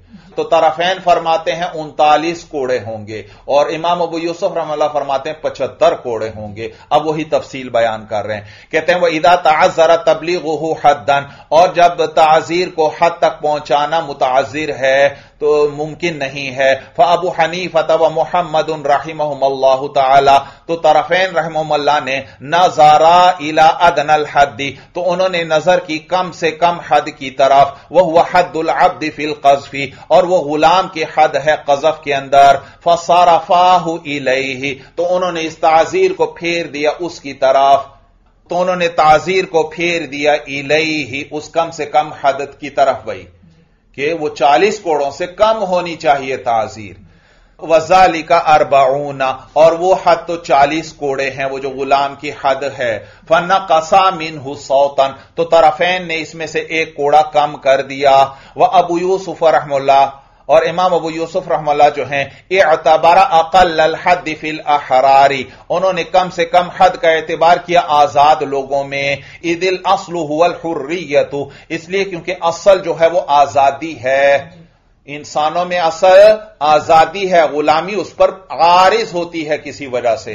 तो कहते हैं, आज़ाद की हद का एतबार किया ईदिल असल हुर्रियतु। इसलिए क्योंकि असल जो है वो आज़ादी है। सुमन कसा सौतन फ़ी रिवायतिन अनहु फिर एक कोड़ा उन्होंने कम कर दिया, एक रिवायत जो उनसे की गई है। वो एक रिवायत जो उनसे की गई है, उसके मुताबिक उन्होंने अस्सी से एक कोड़ा कम कर दिए, यानी उनासी कोड़े। वह हुआ कौल जुफर रहमल्ला और यही कौल है इमाम जुफर रहमल्ला का भी। वह हुआ कियास, और यही कियास भी है। वफी हाद रिवायती नकसा खम सतन और इस रिवायत के अंदर जो ऊपर गुजरी, इमाम अबू यूसुफ रहमल्ला का ऊपर कौल गुजरा ना कि यब लोग ताजीर खमसों व सबईन सौता। तो कहते हैं, वफी हाद रिवायती नकसा खम सतन और इस रिवायत के अंदर इमाम अबू यूसुफ रमला ने पाँच पाँच कोड़े कम फरमाए, वह हुआ मसूर अली रज़ी अल्लाह तहु और यही मनकूल है हज़रत अली रज़ी अल्लाह तहु से। हज़रत अली रज़ी अल्लाह तहु से ताजीर के पचहत्तर कोड़ों तक पहुँचने की रिवायत मनकूल है भाई। तो कहते हैं वह हुआ मासूर अन अली इन रज़ी अल्लाह तहो और यही पचहत्तर कोड़े जो हैं, ये मनकूल हैं, हज़रत अली रज़ी अल्लाह तहो से। फ़कल्लदहू। तो इमाम अबू यूसुफ रमल्ला ने हज़रत अली रज़ी अल्लाह तहो की तकलीद की। और क्या फरमाया कि ज़्यादा से ज़्यादा ताजीर पचहत्तर कोड़ों तक हो सकती है भाई। आगे देखिए, कहते हैं सुम मकद दरल अदनाफिल किताब भी सलासी जल्दातिन। कहते हैं, फिर किताब के अंदर, यानी मतन के अंदर मतन यानी कुदूरी के अंदर कम से कम ताजीर तीन कोड़े ज़िक्र किए गए हैं। ताजीर के अंदर कम से कम तीन कोड़े ज़िक्र किए गए हैं भाई। कहते हैं इसलिए क्योंकि तीन से कम कोड़े होंगे तो दूसरे को जजर नहीं होगा। तीन से कम होंगे तो फ़ायदा कोई नहीं होगा।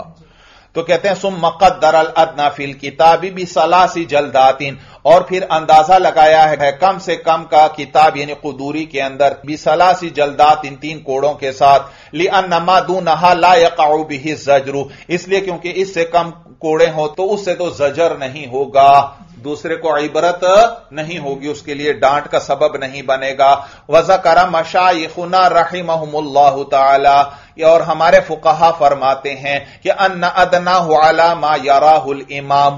कि ताजीर की कम से कम मिकदार वो है जो इमाम की राय हो। यानी कम से कम तीन कोड़े होना ज़रूरी नहीं है, बल्कि एक काजी की राय के सुपुर्द है। काजी अगर मुनासिब समझता है तो किसी मसले के अंदर किसी को सिर्फ़ गुस्से से देखना भी काफ़ी है। काजी अगर मुनासिब समझता है तो किसी को सिर्फ़ डांटना भी काफ़ी है।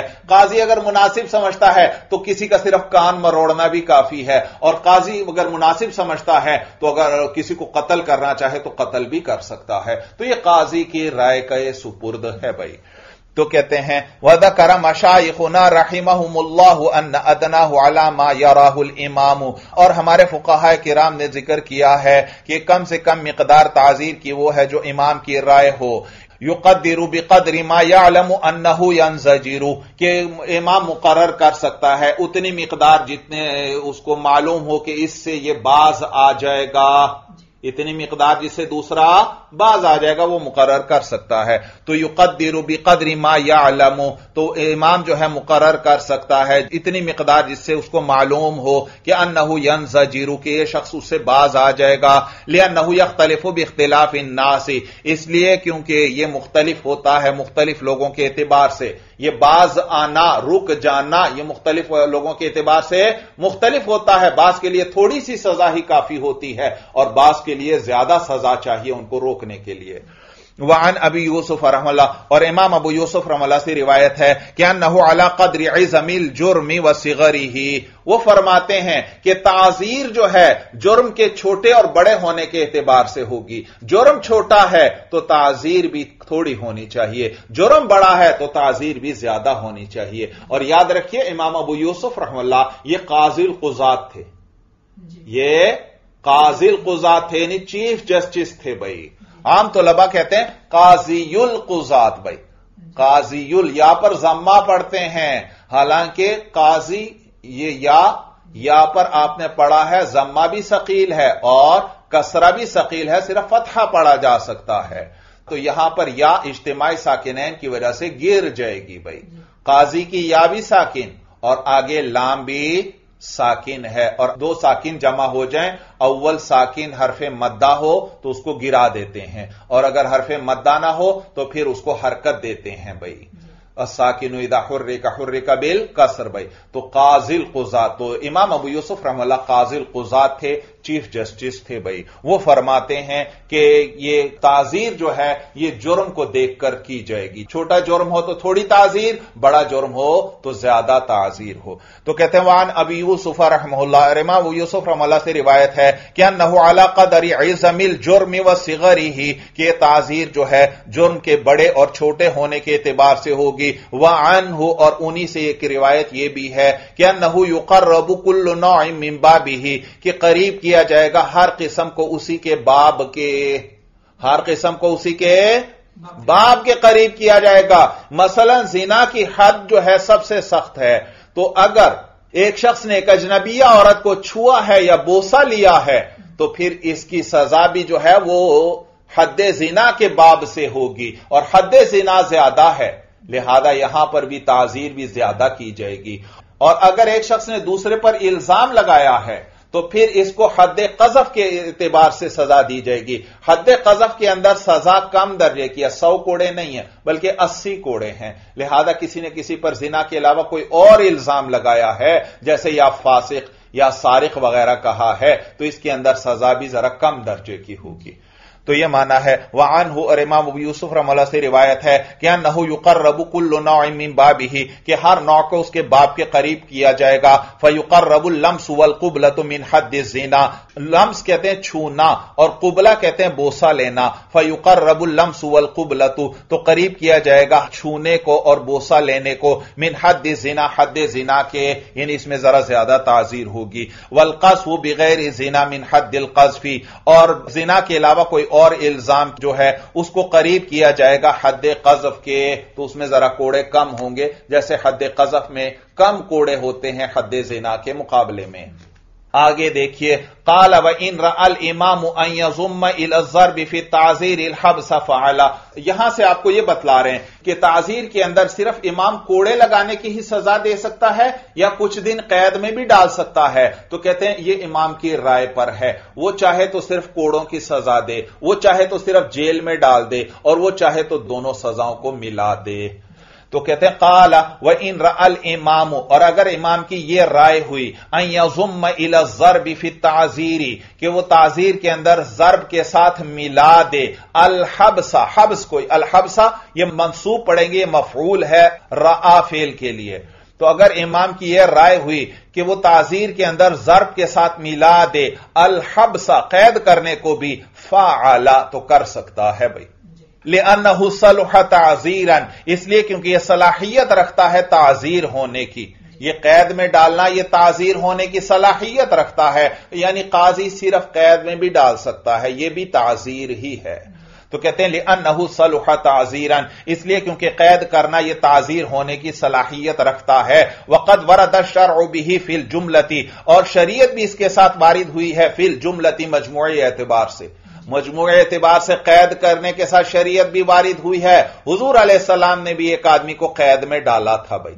अगरचे वो एक आध दिन के लिए कैद किया था, लेकिन बहरहाल कैद करना शरीयत में साबित है भाई। तो कहते हैं, वक़द वरदा शरबी फिल जुमलती और तहकीक शरीयत भी इस कैद करने के साथ वारिद हुई है मजमू एतबार से।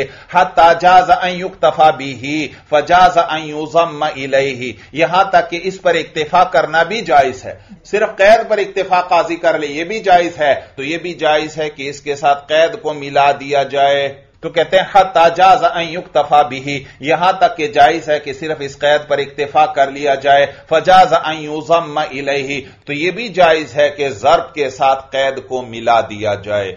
वलिहाद लम युशरफी ताजीर बी तोहमत कबल सबूत ही कमा शुरफिल हद्दी अनहु मिन ताजीरी। कहते इसीलिए इसीलिए ताजीर का मसला काजी के पास आया। एक शख्स ने किसी पर कोई इल्ज़ाम लगाया है। तो अब काजी के पास गवाह भी उसने पेश कर दिए। लेकिन काजी सजा देने से पहले गवाहों की तादील करवाना चाहता है। तो क्या इस दौरान इस शख्स को जेल में डाला जाएगा? कहते हैं नहीं भाई जेल में डालना तो खुद ताजीर ही है भाई। लिहाजा जब तक जुर्म साबित नहीं होता उस वक्त तक जेल में काजी नहीं डाल सकता। हाँ हद के मसले में काजी जेल में डाल सकता है क्योंकि जेल में डालना वो हद नहीं है। हद तो आगे आएगी अभी, जब साबित हो जाएगी। तो हद के मसले में अगर काजी गवाहों की तादील करवा रहा है तो इस शख्स को जेल में डाल सकता है कि कहीं यह भाग ना जाए। क्योंकि वहाँ हद अलग है तो जेल में डाल दिया तो यह तो मामूली सी सजा है। असल सजा तो हद है, जो आगे आने वाली है। जबकि और किसी मसले में जहाँ पर हद नहीं आती तो काजी अगर जेल में डाल देगा, भाई जेल में डालना तो खुद ताजीर है, और जुर्म अभी साबित नहीं हुआ, और आपने उसको सजा भी दे दी। तो लिहाजा पहले जेल में नहीं डाल सकता जब गैर हद का मसला हो भाई।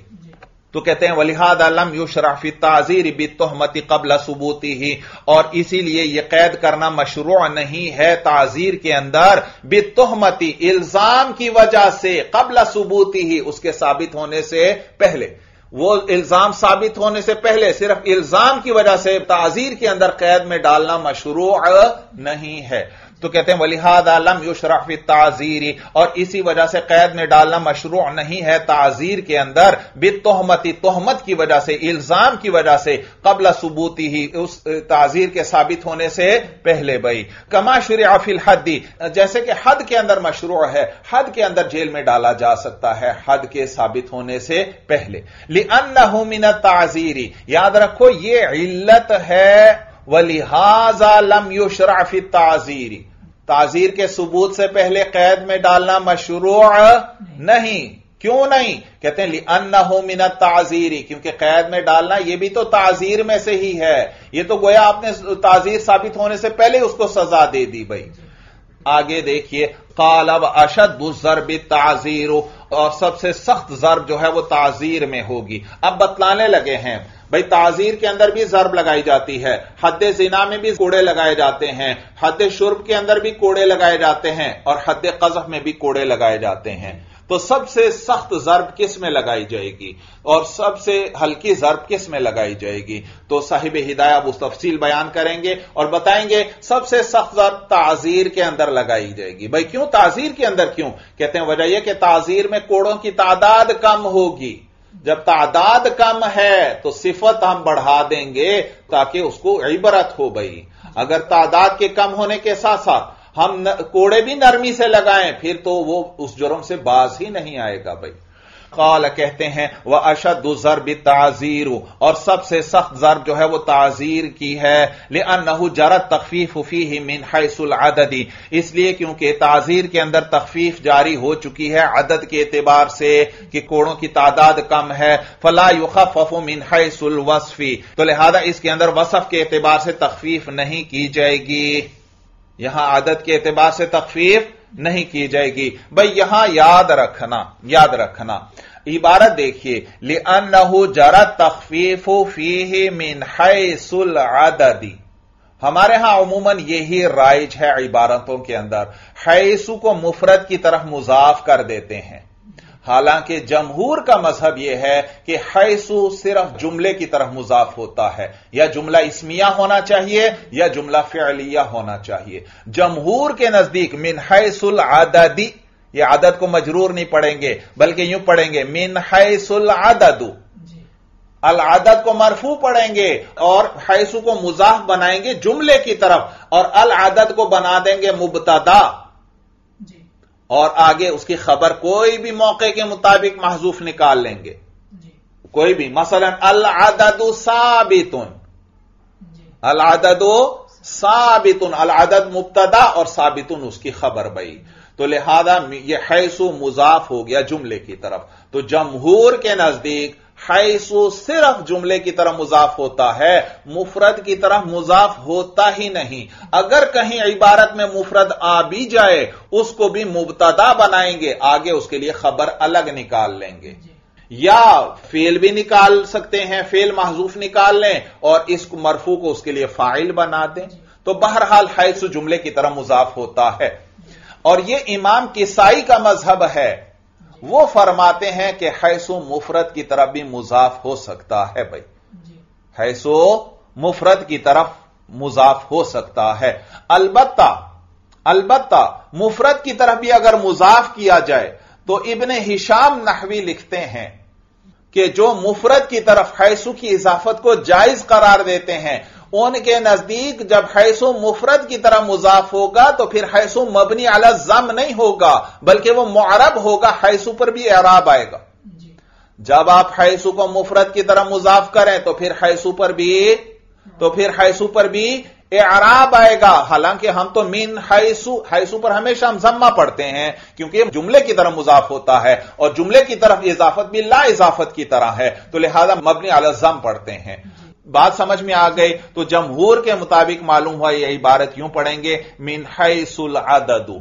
और इमाम किसाई के नज़दीक अल आदती मजरूर भी पढ़ सकते हैं। लेकिन इब्ने हिशाम क्या फरमाते हैं कि जो हैसु की इजाफत मुफरत की तरफ़ जायज़ करार देते हैं उनके नज़दीक भी जब हैसो मुफरत की तरह मुजाफ होगा तो वह मौरब होगा। तो इस सूरत में यूँ पढ़ना पड़ेगा मिन हैसिल आददी।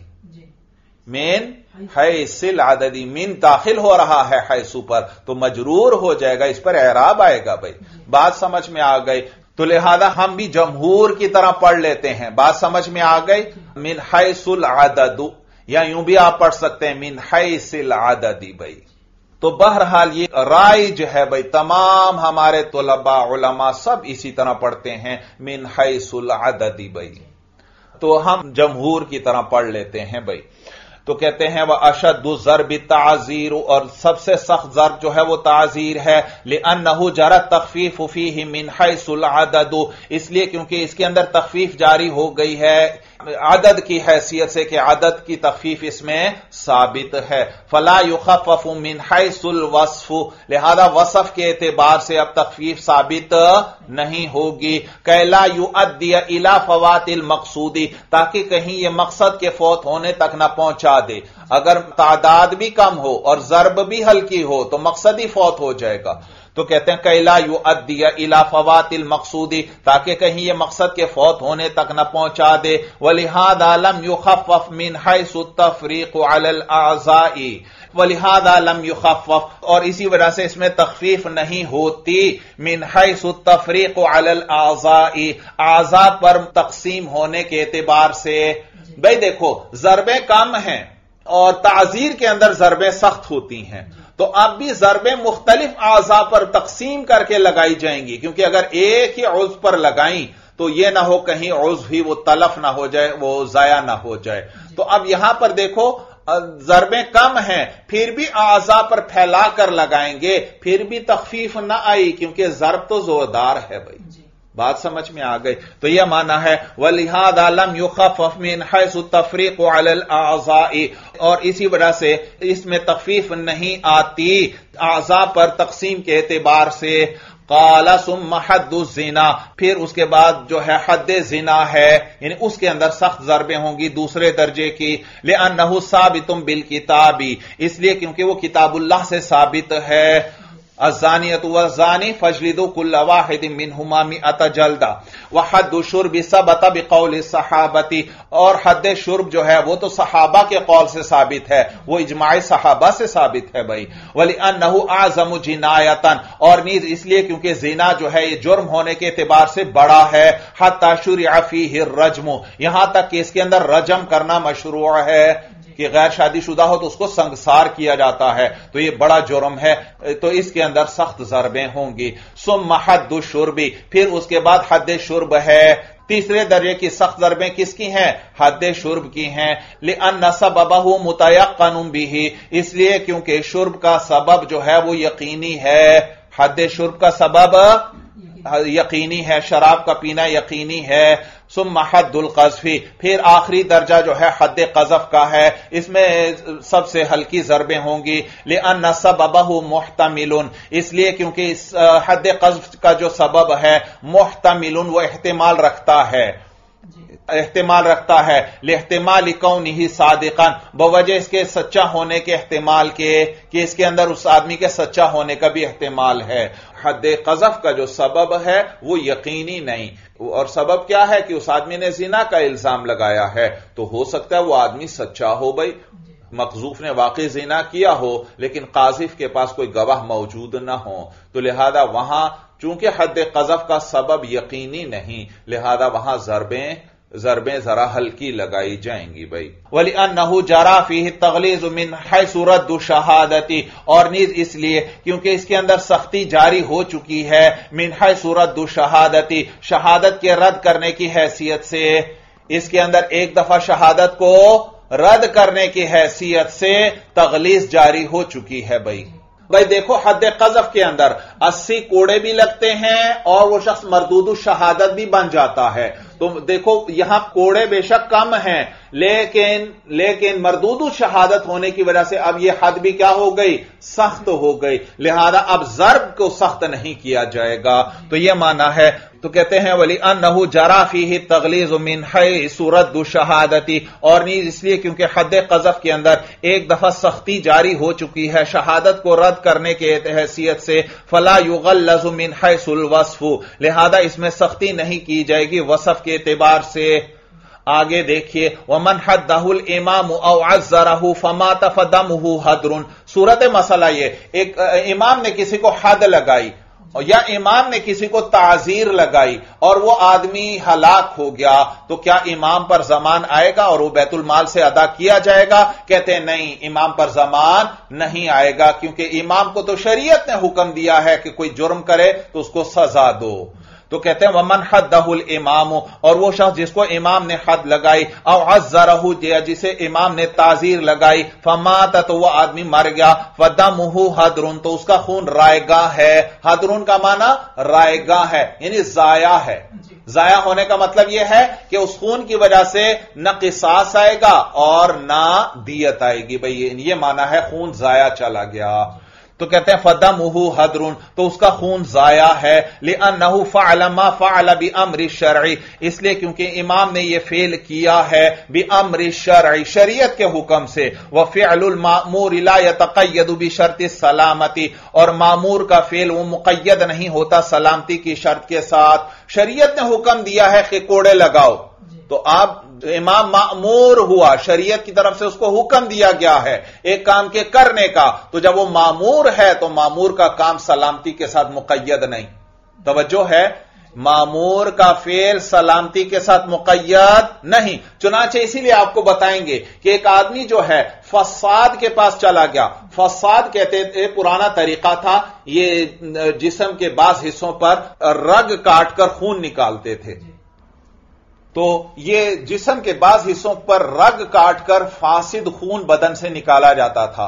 जैसे आज से कुछ साल पहले भी कहते हैं कि दिल्ली के अंदर जो बादशाही मस्जिद है, वहाँ पर कोई फसाद है मुसलमान भाई। और वो उसके पास हज़ारों लोग दूर दूर से आते हैं और वो ये पाँव पर टखने के करीब कोई रग काटता है और जिसम से फासिद खून निकालता है और इससे लोगों को बहुत फ़ायदा होता है।